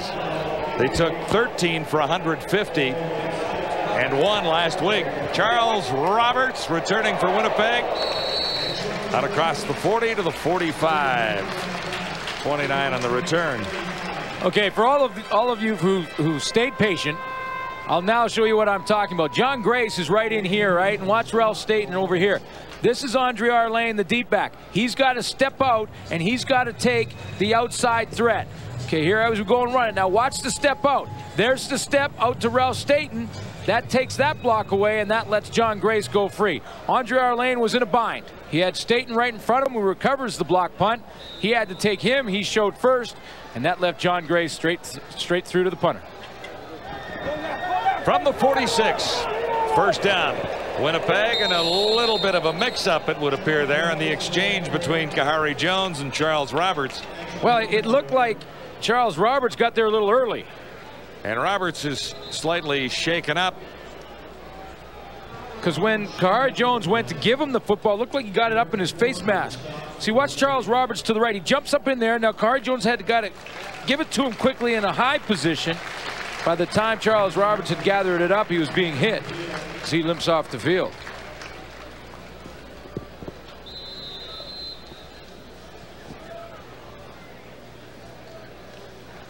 Most outstanding player in Canadian football last year, Khari Jones.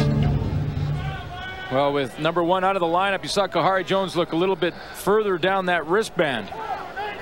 A lot of the plays at the top of the wristband have number one on them. Second and long, and the Renegades will force a quick turnaround here as Stegall couldn't hang on. That slipped right through his fingers. Coverage by Vernon Mitchell. Here's Stegall right there. He's going to come across. Using motion. See how deep he is. He's actually behind Khari Jones at the snap of the ball. He's trying to hide in there. on Vernon Mitchell. Then he comes across and just slips through his hands. I think he was well short of first down territory anyway. And Mitchell was with him step for step. Cameron is in. His last one was blocked and went for a touchdown.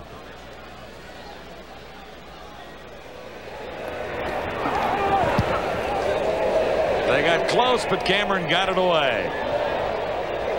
Well, that A ball, little bounce back. that ball hit the green and sucked right back towards the hole, didn't it? Uh, it's a Balata football. It must be the Balata football. Ready for a little golf tomorrow? I am first round of the British Open. I've never been able to do that. You know, bring Suck the ball back? back. A lot of the guys that you'll see in the Yeah, British those, Open, Those they guys at can do that. Muirfield will be able to drag it right back. Of course, I, I can't afford the Balata, Balata ball anyway because I lose so many and just be too costly. You'll get up bright and early in the east, 6 a.m. and a repeat. Yeah, they'll show it to you again later. Yeah. In British Open action. Tiger Woods will tee off at 4 a.m. Eastern time. So you'll catch his first round on the backside on the back nine. Eddie Brown was the receiver there, Yeah, Eddie Brown was the receiver, or but at least the intended receiver. yeah, but Jimmy Jimmy. Oliver was sort of in the line as well, and I think it was actually Jimmy Oliver who distracted Eddie Brown. Two receivers sort of in the same area at that time. You know, and, and the Ottawa Renegades have a, a decent opportunity here to take advantage of momentum. They got a defensive stop. They've got a block punt for seven points. But now they're looking at second and 10. Crowley on the move to his left. Has a target over there. Catch is made. It'll be enough for the first down for Denny Montana. Having a real nice season. 11 receptions, 168 yards, and a couple of touchdowns coming in. Now this is a good way to get Dan Crowley comfortable again. Roll him out to the left, shorten the field for him. He does a nice job with, with Dave Donaldson bearing down on him of turning his shoulders around and getting square to that throw and putting a nice strike in there. 17 yard gain for the Renegades. Now at the Winnipeg 50. Crowley in a little bit nicer rhythm all of a sudden. And he gets another strike.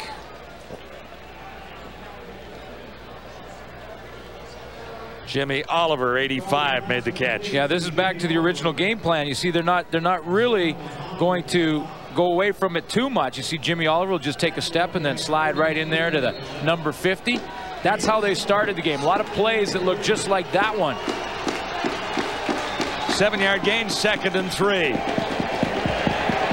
Crowley has some pretty good ideas here, but couldn't connect with Oliver there. That one was into the turf. Yeah, he had to rush it though because Brian Clark was there and he really couldn't turn his shoulders around. Remember I showed you turn the shoulders around on the last play that he completed? Watch how quickly he has to do it now. Turn the shoulder. Whoa, I got to get it out of there. And he kind of short arms it because of it. And that's because Brian Clark was standing right beside him. And that's a difficult thing to do, John, and roll to your left, get those shoulders around and try and complete that pass. Nice linebacking core here in Winnipeg without question. Brian Clark, Ryland Wickman in the middle, and Lamar McGriggs, who's made some big plays. Yeah, the three amigos. They call them the three amigos. Harper's punt, and there'll be no return rolling out near the 12. You know, one of the reasons that Ottawa may be struggling a bit offensively is that one of their weapons, Donnie Ashley, has got the pads off. And he came out like that in the second half and would indicate that he is out of the lineup and we'll try and figure out exactly what happened to Donnie Ashley because he never went down on the field. He's listed as a fifth receiver on their depth chart a lot of the time, but but in reality, he gets in and plays a Yeah, lot. and he started tonight, and he's become a, a go-to guy. He's one of the guys that, that you can dump it off to him, and he can make something happen with it. Not to mention what he can do in gaining you field position in the special teams. So that's a big loss to have Donnie Ashley over there on the sideline. Charles Roberts, room on the right side. Well, and here's good news for Winnipeg fans that number one's back for them. Remember, he limped off in the last series. He was shaken up a little bit. He's and this is this is Charles Roberts. You see, John Grace tries to take a little bit of a gamble, and he steps up into the one hole.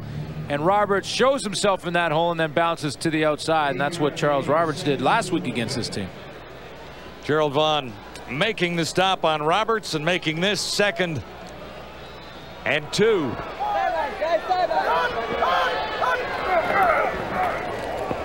Roberts will have the first down, spinning for an extra four yards as well. And the safety, Sean Gallant, had to come up and make the stop.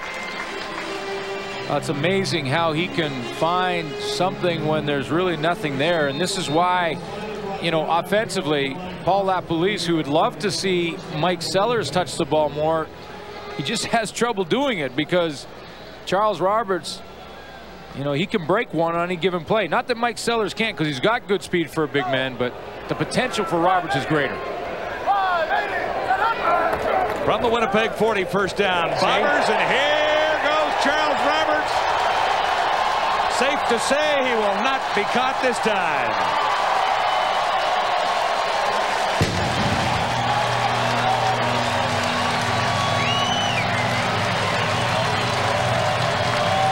He had the opportunity on a punt return in the first half and was tracked down from behind by Grayson Shillingford, but a 70-yard touchdown blows this thing wide open for the Blue Bombers. Simply too many weapons for the Renegades tonight. Well, sometimes it's Charles Roberts making something happen, and sometimes it's the big guys up front opening up some holes. Charles Roberts hit that line of scrimmage and was untouched.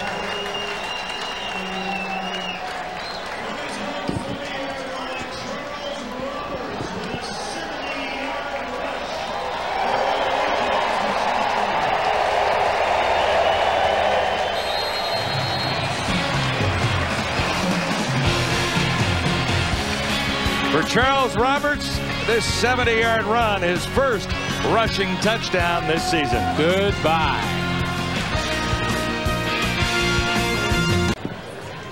Second touchdown of the evening for Charles Roberts. This the most spectacular of the two. Well, that was just an all-out sprint. That was more like a track meet for Charles Roberts than it was a football play because he never had he never got hit. Not once. Didn't have to make a guy miss. Didn't have to break a tackle. He just had to sprint. It was like a 70 yard. Let's see how quickly we can get there. Turn on the Jets and fly. Grayson Shillingford. Whoa, man. Count the bombers around Shillingford there. Wow. Three of them met at the kick returner. Well, well, let's take a look at, at the touchdown for Charles Rob, or, the, or excuse me, the, the return. Watch this wall. Watch this wall coming. Whoa, man. Capers was there, number 23. Donaldson not far away. Mike Sellers right there. Mike Sutherland right there. Watch Sellers move to his right and then come back down on Michael Barreau. There's the block down. You see the kick out on Kelly Wiltshire by Sutherland, and that's why Charles Roberts is sprinting to the end zone. Mike Sellers just completely drove Michael Barreau right down into the center, center area, and then he gets the hug afterwards. David and Goliath. Well, there's a 260-pound blocking fullback, and look where Roberts is amongst the TD leaders all of a sudden. Lawrence Phillips of Montreal leads the way. Bruce, Roberts, and Stegall are right behind. They're talking about saying, hey, you just keep blocking like that, and I'll just keep running touchdowns, and then I'll buy you dinner, and and we're good. That's how you draw it up. When the when the coaches when the coaches get it, this is how they draw it up. They say, okay, Mike, you walk out here, and then you block down right here, and then Mike Sutherland, you come out here and you kick out right here. That's exactly how they'll draw it, and then watch how it's executed. Bam on one block, there's the kick out, and there is a huge hole. Well, it has to be perfect blocking when you go 70 yards untouched. Absolutely. Without making a move, as you said, he just turned the corner and went. Because there's two players there that can fill that hole, and both were blocked well.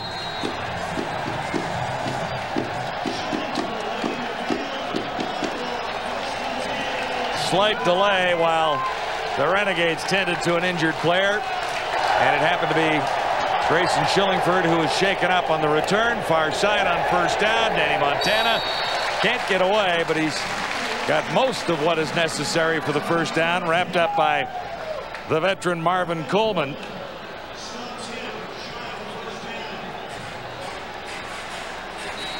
Montana again involved in this offense for Ottawa Renegades, but it's been way too little so far in three quarters of play. Well, really two and a half quarters. There's Darren Davis. Nice run for him. Grabbed by Lamar McGriggs. Last week, Davis just 17 yards on nine carries. So this running game for the Renegades didn't work last week in spite of the fact that they were able to come away with a win. Just a front seven that last year you can see a little bit of a hole there and a couple of nice blocks at the point of attack this time by Carl Coulter.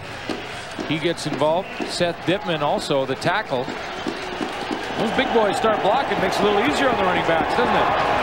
Davis has 17 there. Montana has more yards here short of the first down as he was forced out about three shy. Now Crowley has this team moving a little bit more but it's a little bit late. Lots of time to go but the lead looks insurmountable already. Well, yeah, but Dan Crowley's really not looking at the lead, and, and he's listening to his head coach who's saying, win the third quarter, and right now in the third quarter, it's 7 all.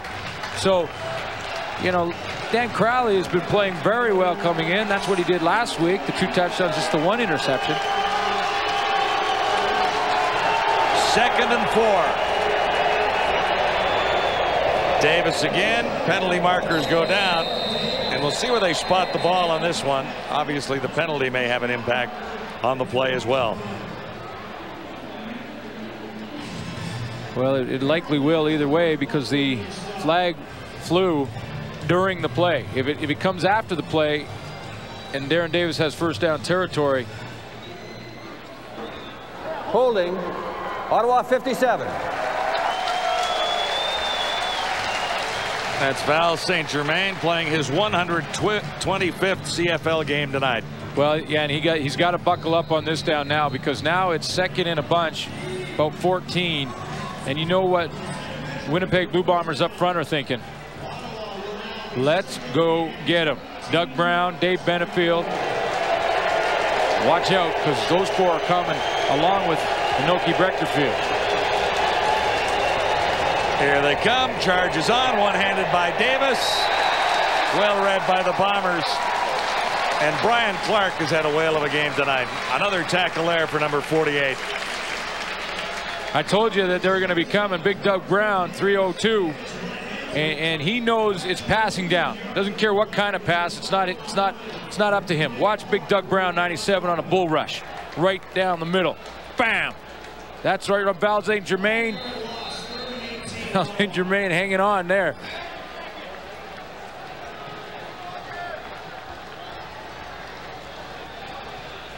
Harper is in on third down Ottawa. Less than four minutes to go third quarter. Charge was on. Breckterfield couldn't get there. Arland Bruce. And flags are down on the return. He got just four yards. The punts traveled 70. Welcome back to Winnipeg, Wendy's CFL Live. Tomorrow evening, Ticats Lions at BC Place. Join us at 10:30 Eastern. Bombers back on offense. Khari Jones looking for Arland Bruce. I said that punt traveled 70. Just a little uh, mix up here trying to read the writing. Oh, it was, it was, quite 70? Punt. Yeah. Okay. A 70 yard punt, we might have uh, made a little bigger deal. You know, I just want to go back. we showed you Doug Brown. Just one, make one quick point. That Davis run of 14 yards was the longest run that the Bombers have given up this year. And they, they come into this game giving up 46 yards rushing per game. So that's why Ottawa and a lot of other teams have been struggling offensively against the Winnipeg Blue Bombers. They can stop that run in a big way. Second and 10. Bombers at the 48. Khari Jones got rid of it in a hurry. Here you go, Milt Stegall. Catch him if you can.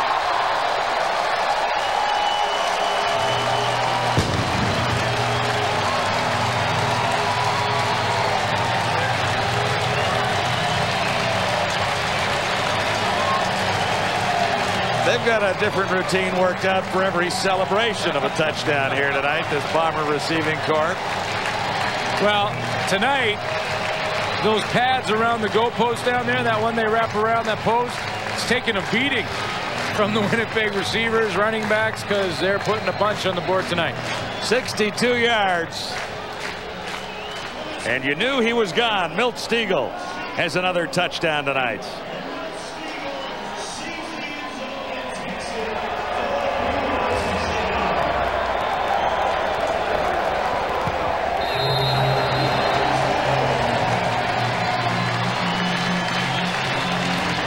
Sixty-two yards for Milt Stegall.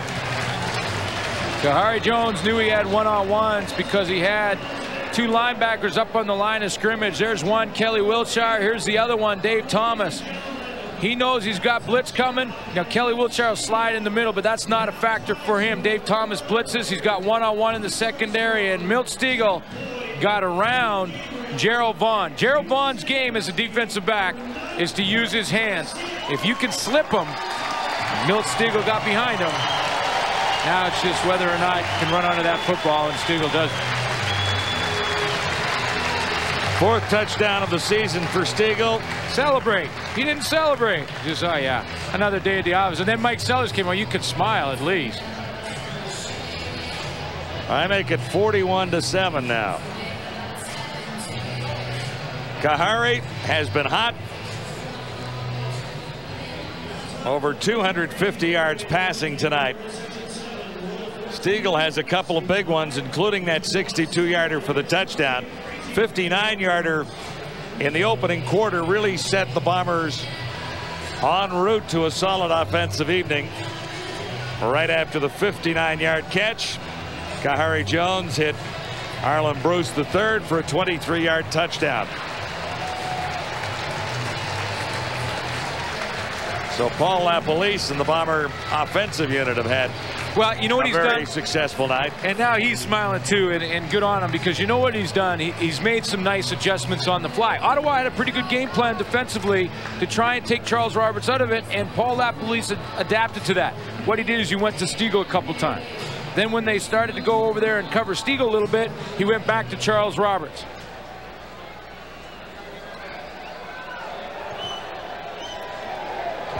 Nice to have all those weapons. Bobbled by Eddie Brown, and he's out at about the 26.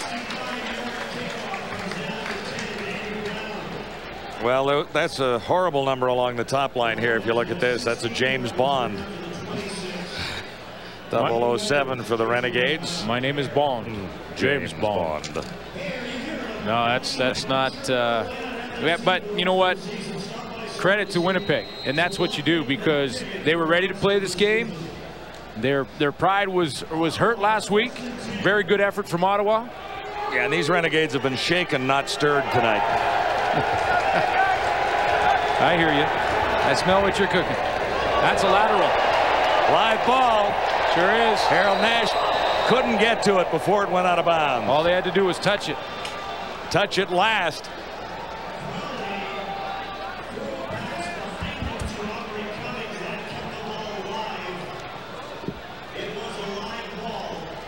That's a live ball because that's behind the line of scrimmage. Cummings. And, and behind the quarterback. Cummings might have forced it out with the last effort that he had at the ball. The pass was intended for him. So second and way too much here for the Renegades. Back at the 19.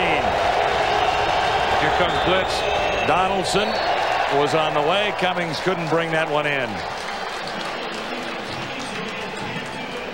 A lot of guys up on the line. Lamar McGrig's the only guy who's going to drop out. Number 36, he's right there. But everybody else on the line is going to blitz. See, here they come.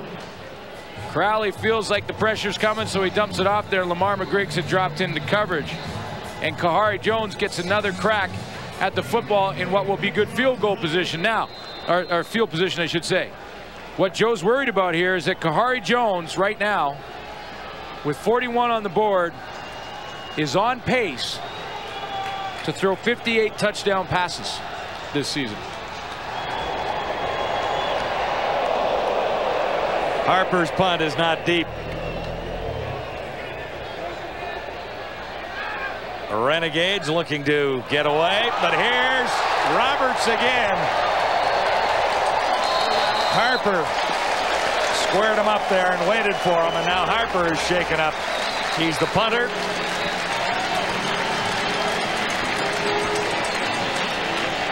This is more of what we would have expected from the Blue Bombers last week. 35 yard punt and a return of 31 here for number one. Charles Roberts. That's why, remember Mike Vilimek earlier tackling him on that bounce around? That's why you tackle him, because he yards. scoop it up. Ottawa 56. Penalties decline. Major foul. Unnecessary roughness. Winnipeg number four after the play. First down. It's Arland Bruce III with the unnecessary roughness penalty called against him. Rough Riders, a grand and glorious franchise in Canadian football, a franchise story. The story of the 1999 season will set up Wendy's Friday Night Football with the Eskimos in town against Saskatchewan. Edmonton 3-0, Saskatchewan 2-1. Could be an interesting game. Well, with regards to their records from 99 to now, it'll be like a before and after picture. pretty well. So you'll see what happened in 99 and Yeah. the good things that have happened in 2002 as Charles Roberts is wrapped up by Gerald Vaughn. John Khari Jones, four touchdown passes tonight, on pace for 58. The record in the Canadian Football League is 48. That was set by Doug Flutie back in 94 when he was in Calgary. So that's quite a pace for Khari Jones. Now it is very, very early.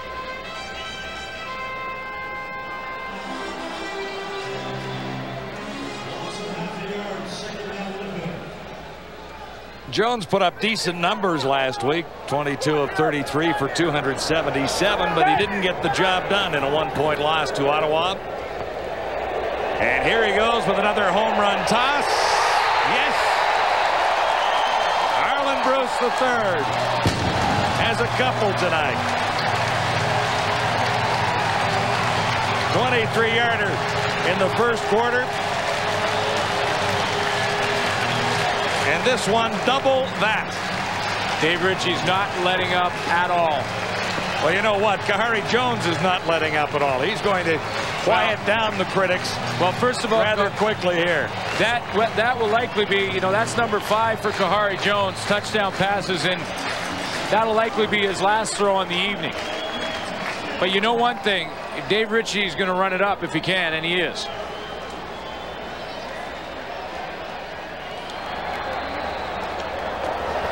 Forty-six yard touchdown to Arland Bruce. Khari Jones has five on the night. Arland Bruce has two of those.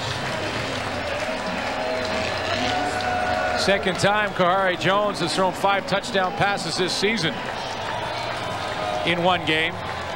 Now the margin of victory at 46 points. The largest margin of victory for the Winnipeg Blue Bombers was back in 1986, 56 nothing against the team that I played for in Saskatchewan. I remember it. Yeah, you were back there all night long. Yeah, it was a long night Who was the quarterback of record? when we returned. Touchdown passes for Khari Jones for the second time this season. Returning for the Renegades to begin the fourth quarter. Eddie Fumble. Brown lost the ball. Chance for more bomber points here. No, they're saying Ottawa got it. Ottawa got it back. They certainly did. Gentlemen, I know three of you back there know a little bit about being on both sides of this kind of thing. For me, it was back in 86, right here in Winnipeg. And you asked me who the quarterback Well, was. I did. You gave up 56 points that night, and you couldn't remember the quarterback who threw about six over your ears. Well, I thought at first it might be Matt Dunigan, but it was actually Tom Clements for half the game. Then they felt a little mercy, so Hufnagel came in. Oh, and they threw a said couple in the more. old guy. John Hufnagel. Yeah. I, kn- I know you guys back there have been on both ends of this. Uh, it's just amazing, Glenn, you know, to see the Bombers, you know, respond this way. It's like the Renegades woke up a sleeping giant last week. yeah, you are absolutely right, Matthew.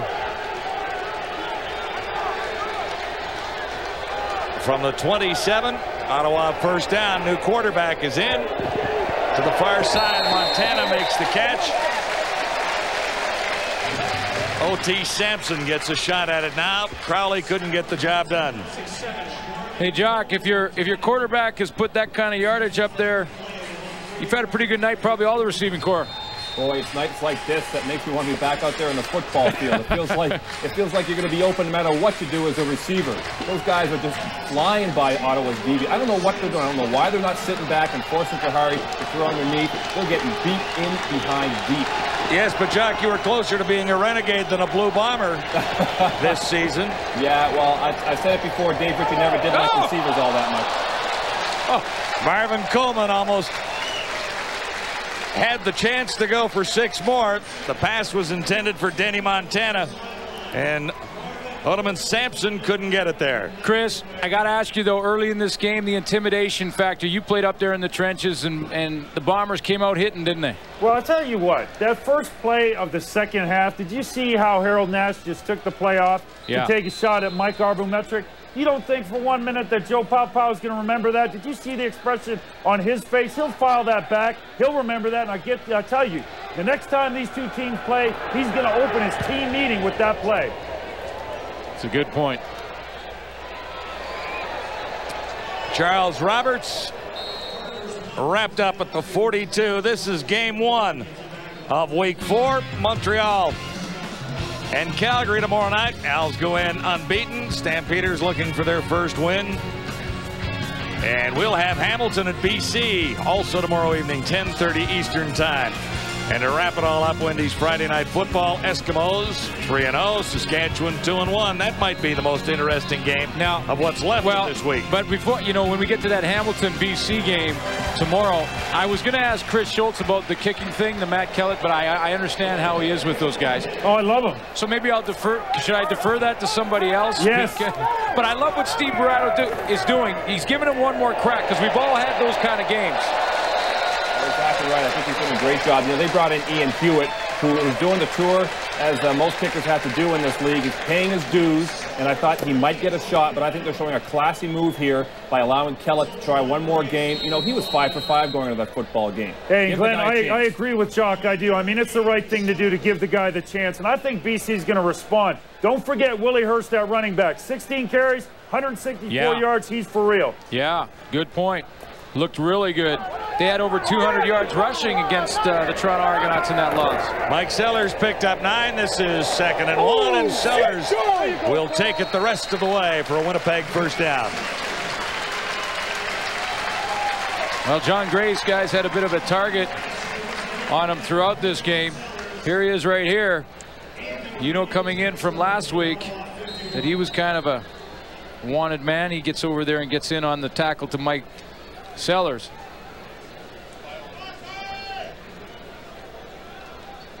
Bomber drive continues with a first down just outside the Renegade 50. Make it the 51 yard line. Khari Jones still at the controls. Here's Charles Roberts. Looked to be stopped and still grabbed close to four yards there. What's the game of the week for you, Matthew? Oh, well, I think we're watching it right here. I think the anticipation of the war of words going on prior to this one starting, I think that was the game of the week. But, you know, we're, we're looking ahead. Uh, but what I see here, Wellesley, is, is two coordinators, Dave Easley and Paul LaPolice, you know, and when you play back-to-back -back games like this, they become such an integral part to scheming one another, and it's interesting how this played out.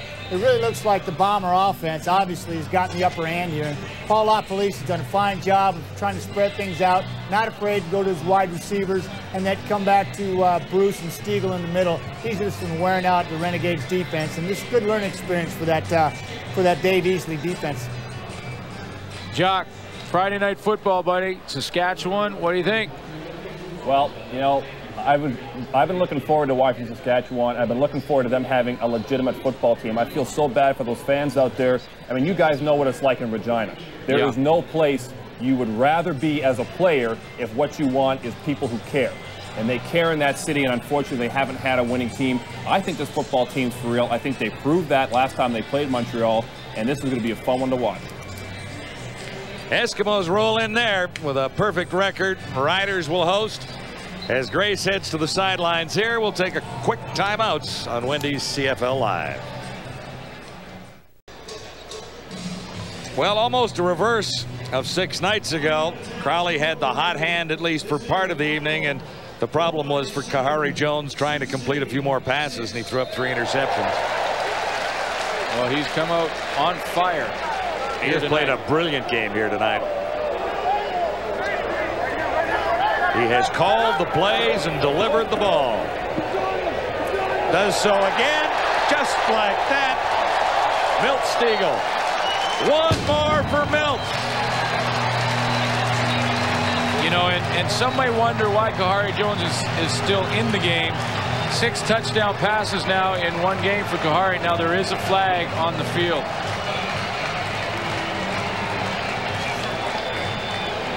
Uh, they'll call this one back offside. That would have been a 47 yard touchdown for Milt Stegall, and they're bringing it all the way back. Bombers offside. Well, Milt, Milt Stegall was about to start to make Bomber history as he, or excuse me, Khari Jones was as he hits Milt Stegall across the middle because there was a bunch of quarterbacks for the Winnipeg Blue Bombers that have thrown five touchdown passes, including Matt Dunigan, who did it three times as a Winnipeg Blue Bomber, but only Jack Jacobs has thrown six and only Jim Van Pelt has thrown seven. That's the top number. Khari still has a chance, however, and he has Stegall there. No touchdown, but a first down inside the 40. Now the question is at, at 48-7 with 10 minutes to go, why is Khari Jones still in the game? And you wonder how much this goes into the talk that's happened all week, and it's sort of like, you know what? We're just going to keep going, and we're just going to keep scoring until you stop us. Well, I think Khari has something to say about this, do you not? He is the number one quarterback in Winnipeg. Sellers, we'll see where they spot this one. up a pretty good head of steam. Comes down around the 30-yard line. Well, this so we'll is look for this the spot. sorry, John. This is one of the toughest times for the Ottawa defense for any defender who is on the wrong end of a score like this. Now it's time that you have to reach down way, way down because it's pretty easy at this point to fold your tent and go, let's just go and regroup for next week. But you still got about 10 minutes to go. And you got to battle and you got to compete because every play is on the tape upstairs and will be watched by the coaching staff tomorrow. Sellers got eight. This is second and two, and Charles Roberts takes out. Flag is down as Roberts gets down to the one-yard line.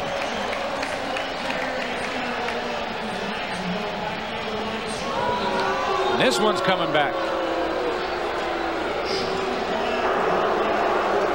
Holding Winnipeg number 64. That's Big Mo. Mo Elewonibi. Left tackle, he's right up here. You be the ref. The chance to look at the second play. Well, he gets the arms on the outside and turn. Yeah, well, that's holding. Keaton Cromartie. Keaton Cromartie was basically tackled, so Dave Ritchie can complain all he wants about that one, but when he looks at it on the tape, I'm sure he will agree that that was holding. Second down and 12. Khari goes for six more.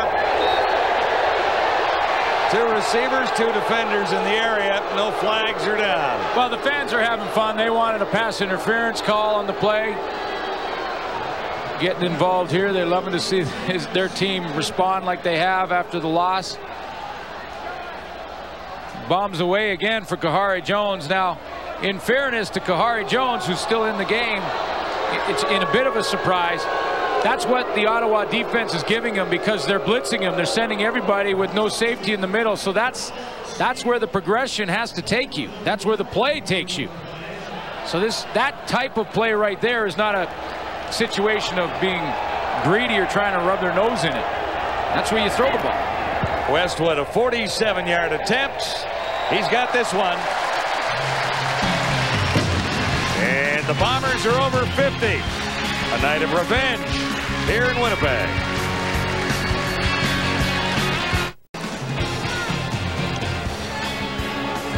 The ladies have had lots to cheer about for the Blue Bombers here tonight. Tomorrow, Wendy's CFL Live, Cats Lions, the Battle of the Cats at BC Place.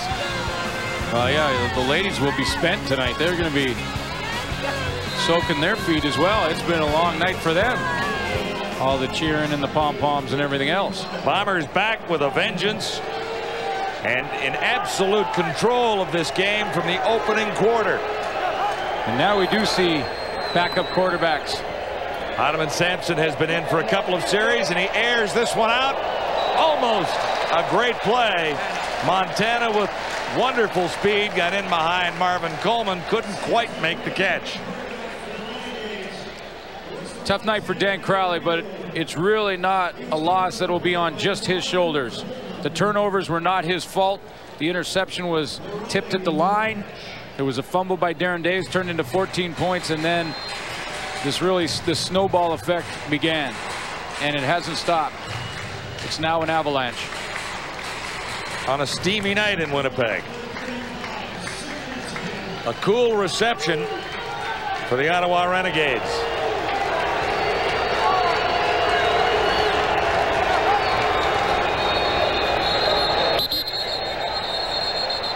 Whistle down, nowhere to go for Oteman Sampson. And as that wise old veteran said earlier this evening, you Time don't want to wake a sleeping Ottawa giant. 16.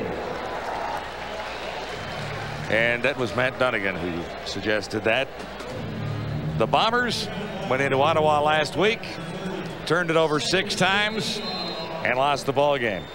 Now the pride factor kicks in for the Renegades, especially for a guy like Joe Paopao, who's been at both ends of these scores, both as a player and as a coach. But pride factor kicks in. All he wants to see now is his, his players compete to the very end. Sampson had no one home there. Cummings was in the area. So was Grayson Shillingford. And O.T. Sampson couldn't find either. Renegades had a few avenues to build this team. 24 free agents and some key ones that, that will be guys will be impact players. Darren Davis and guys like that. Expansion draft they picked up 12. A lot of good Canadians in that expansion draft, including Kelly Wiltshire and Carl Coulter, their big center. And you get guys like that. That's your character guys. So Ottawa has a lot of football left in them, and, and they'll be around. And they're going to be around all season long. And, and I think they'll compete for a playoff spot. Harper not deep with this punt. But there will be no return. Decent bounce for the Renegades there. There's the score. The Bombers are back and rolling in Winnipeg tonight. Khari Jones is going to take a bit of a rest here into the final seven minutes and 34 seconds in Winnipeg. His work is done. That means Pat Barnes will get an opportunity to direct this Blue Bomber offense.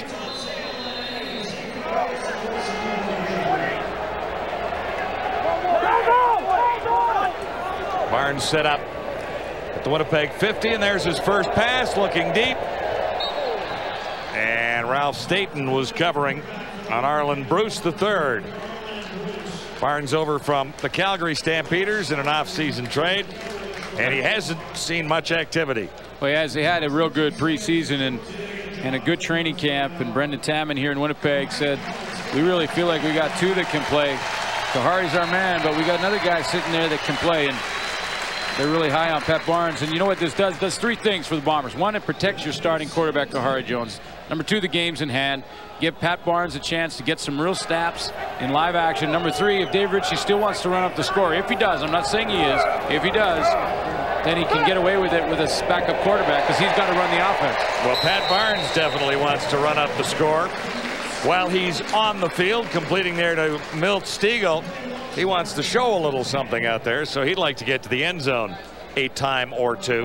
Well, let's just take a look at Pat Barnes. Steps up in that pocket, looks calm and controlled, steps nicely into that throwing lane, and then strong arms it there to Milt Stegall, who had to go down and make a pretty nice catch. A 19-yard gain. Barnes to Stegall. And the Blue Bombers are inside the Renegades 40.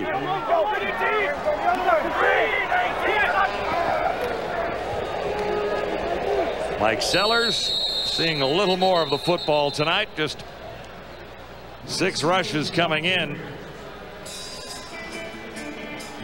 for 11 yards. Khari Jones, 324 and five touchdowns. And I'll just make a note of that. I've got 324 yards and five touchdowns. Okay, good, good. That's good. I'll send that into the league. Oh, he was checking out the fact book there to say tied Matt Dunigan. He did. Not for the Blue Bomber record. That is held by a couple of veterans older than Matthew. Stegall was the intended receiver. 540 on the clock now. So Barnes heads to the sidelines. Here's the game story. Khari Jones got a touchdown in the first quarter and then fired four more touchdown passes to lead the league with 14 this season. Well, yeah, I mean, Milt Stegall was involved early and then again late. Charles Roberts was involved sort of in the middle, but together, wow. Stegall scored one and set up one. He also had one called back. That's right.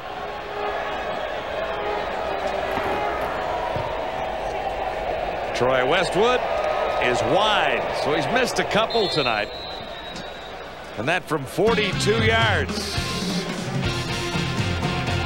Not a happy kicker as he heads to the sidelines.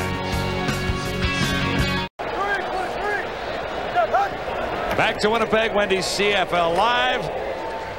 And a crunch from Harold Nash. He's had a couple of big hits. That one on Grayson Shillingford on the pass from O.T. Sampson. Yeah, I think Harold Nash sort of the unsung hero in this game because we saw the flashy numbers by Khari Jones, the big plays by Stegall and Charles Roberts, but the grunt plays that set the tone early came from Harold Nash. Big hit. Eddie Brown set the tone, had a key knockdown on a second down play early in the second half, and he's he's really come to play tonight as well. Second and five. Sampson buys a little time. Shillingford makes the catch, but he'll be stopped short of the first down. The Bomber defense has done a great job. Just about every series tonight, only one Renegades touchdown has been allowed.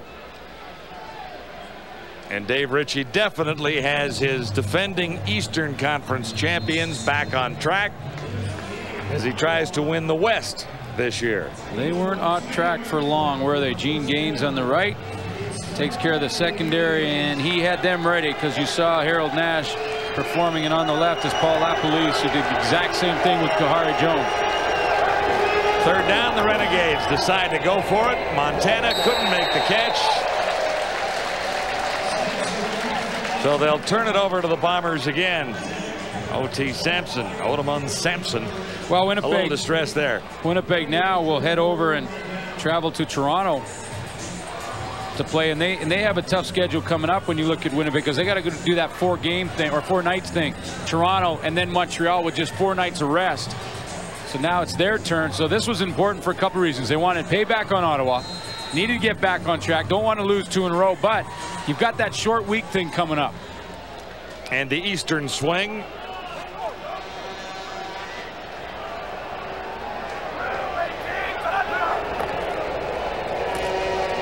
Barnes hands off to Roberts. Roberts around the corner. And boy, he's quick. There's a penalty marker down.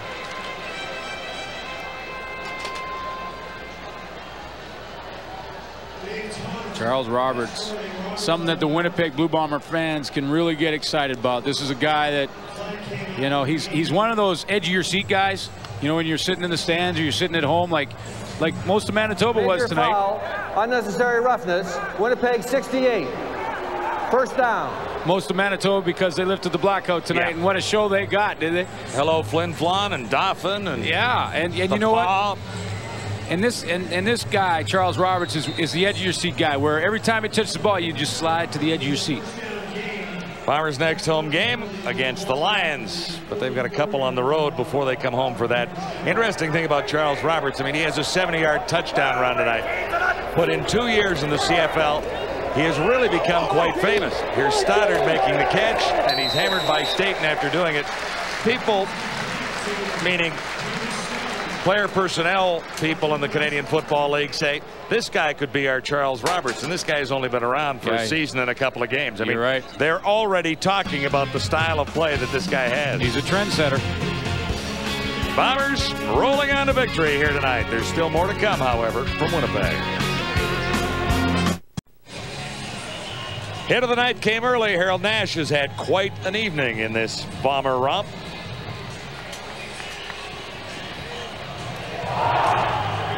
That set the tone for the Winnipeg Blue Bombers tonight. Less than three minutes to go. A long night for the Renegades. In their first appearance in Winnipeg. Wade Miller got a chance to slide into the backfield there and carries for a little bit.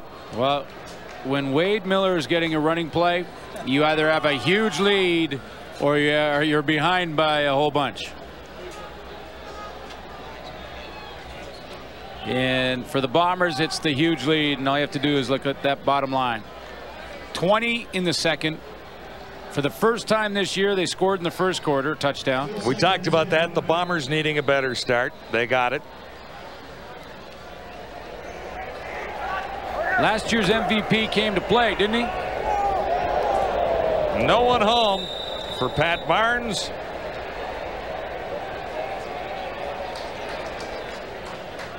Well, let's give the game ball out tonight. Set to go? Yeah. I think I think there's no question who gets this one. Brought to you by Sport Chek, Canada's choice for sports. Khari Jones, five touchdown passes.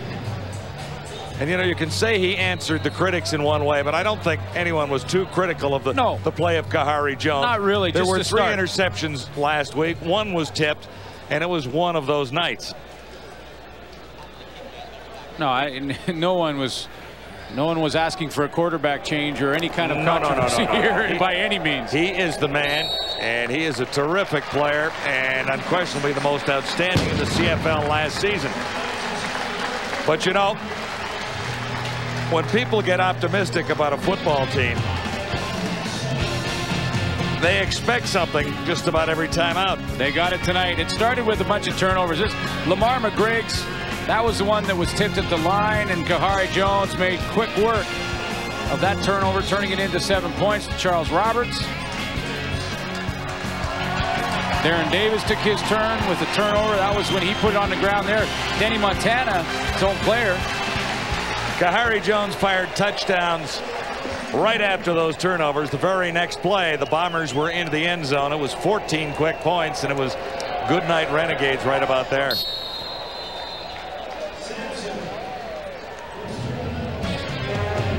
And this is the touchdown that you're talking about, and it was a perfect pass to the corner of the end zone to Marcus Howell.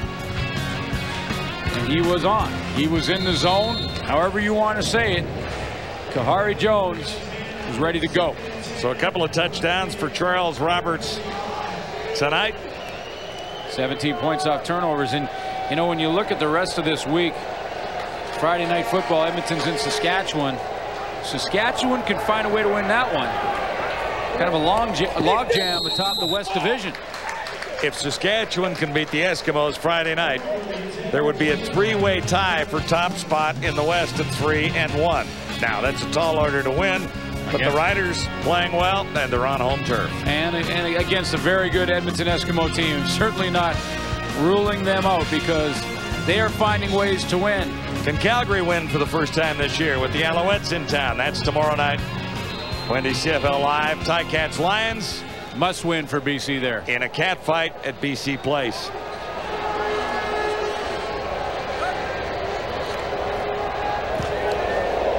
Whoa! Harper sails this one.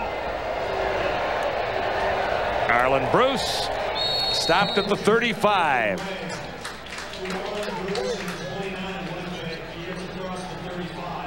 Khari Jones resting on the sidelines after throwing five touchdown passes. He is the biggest part of this game story for the Blue Bombers, but when you look at it, it was an all-round effort tonight. Well, Khari Jones is the gun, then Arland Bruce is bullet one, Milt Stegall bullet two, Charles Roberts bullet three. That's half the gun. Yeah, and only five touchdown tosses. He's one short of a six shooter there, right?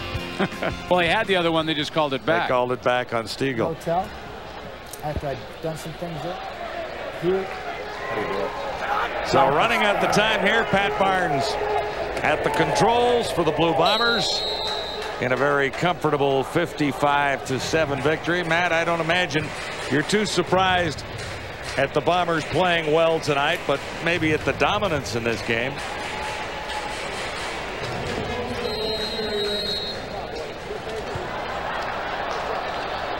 Thought we had the panel all hooked up there. Sorry, Wellesley, what'd you say?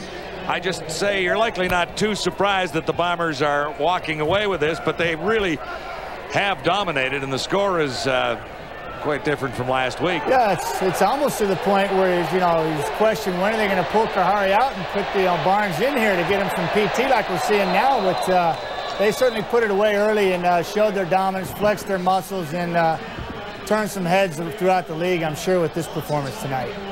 And and Chris, I guess if you're if you're the Ottawa Renegades right now, you've got about a minute 28 to try and hit somebody. Well, yeah, because that's what you because that's what you feel like doing, don't you? You know what? A couple things I found really interesting. First, right there, Joe Paopao.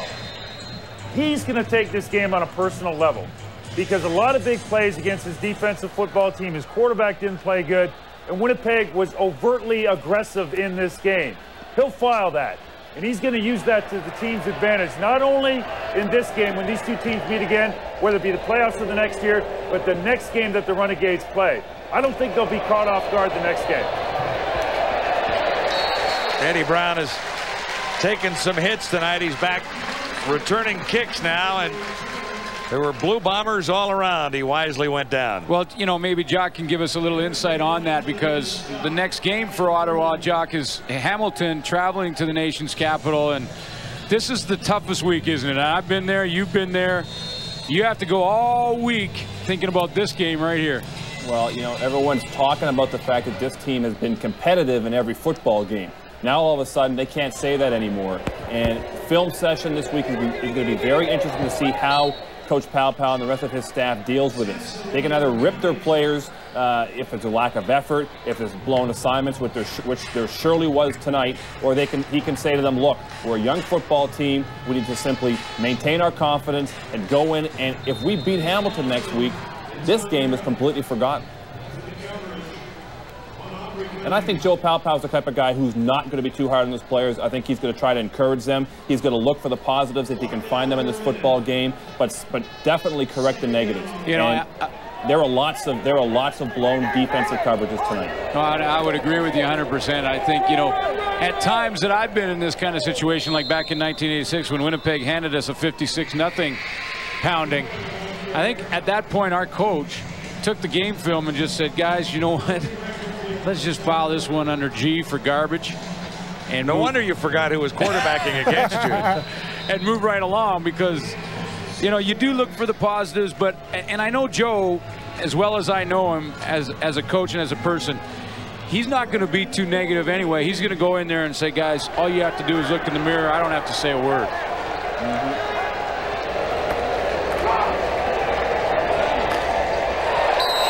Now the Bombers have a tough week heading east. First against the Argonauts, followed by a date with Montreal. So that's the tough stretch for the Blue Bombers. Obviously important that they come off this one tonight in rather convincing fashion heading to Toronto and Montreal. Well, this is the great confidence builder. They go into a Toronto team that's reeling a little bit after a loss to the Edmonton Eskimos. Well, they've certainly got some practice, Glenn, on uh, handling cover zero tonight because the Ottawa team's been trying to pressure Winnipeg all night, and seems like I know they'll get some of that against Toronto. Yeah, Gary Etcheverry likes to put them all up on the line, doesn't he? Time ticking down. It's been over for the Renegades for some time. Blue Bombers have been solid in all phases of the game tonight. Matt, Tell me how Khari Jones feeling right now. You, for win as a Winnipeg Blue Bomber, you did this a bunch, five touchdown passes. Yeah, he's feeling pretty good about himself right now. You knew he was uh, coming off a MVP performance last year that he was going to respond. He responded positively. He's looking forward to a good night at the Palomino, I can tell you. Wait, hey, we've got six seconds to go, Matt. Who dropped the one that could have given you six? Uh, I just underthrew a guy, pull more than likely, Wellesley. we were going deep, you can guarantee that. I would know you would be going deep. Well, full marks to the Bombers, 55-7. Wow.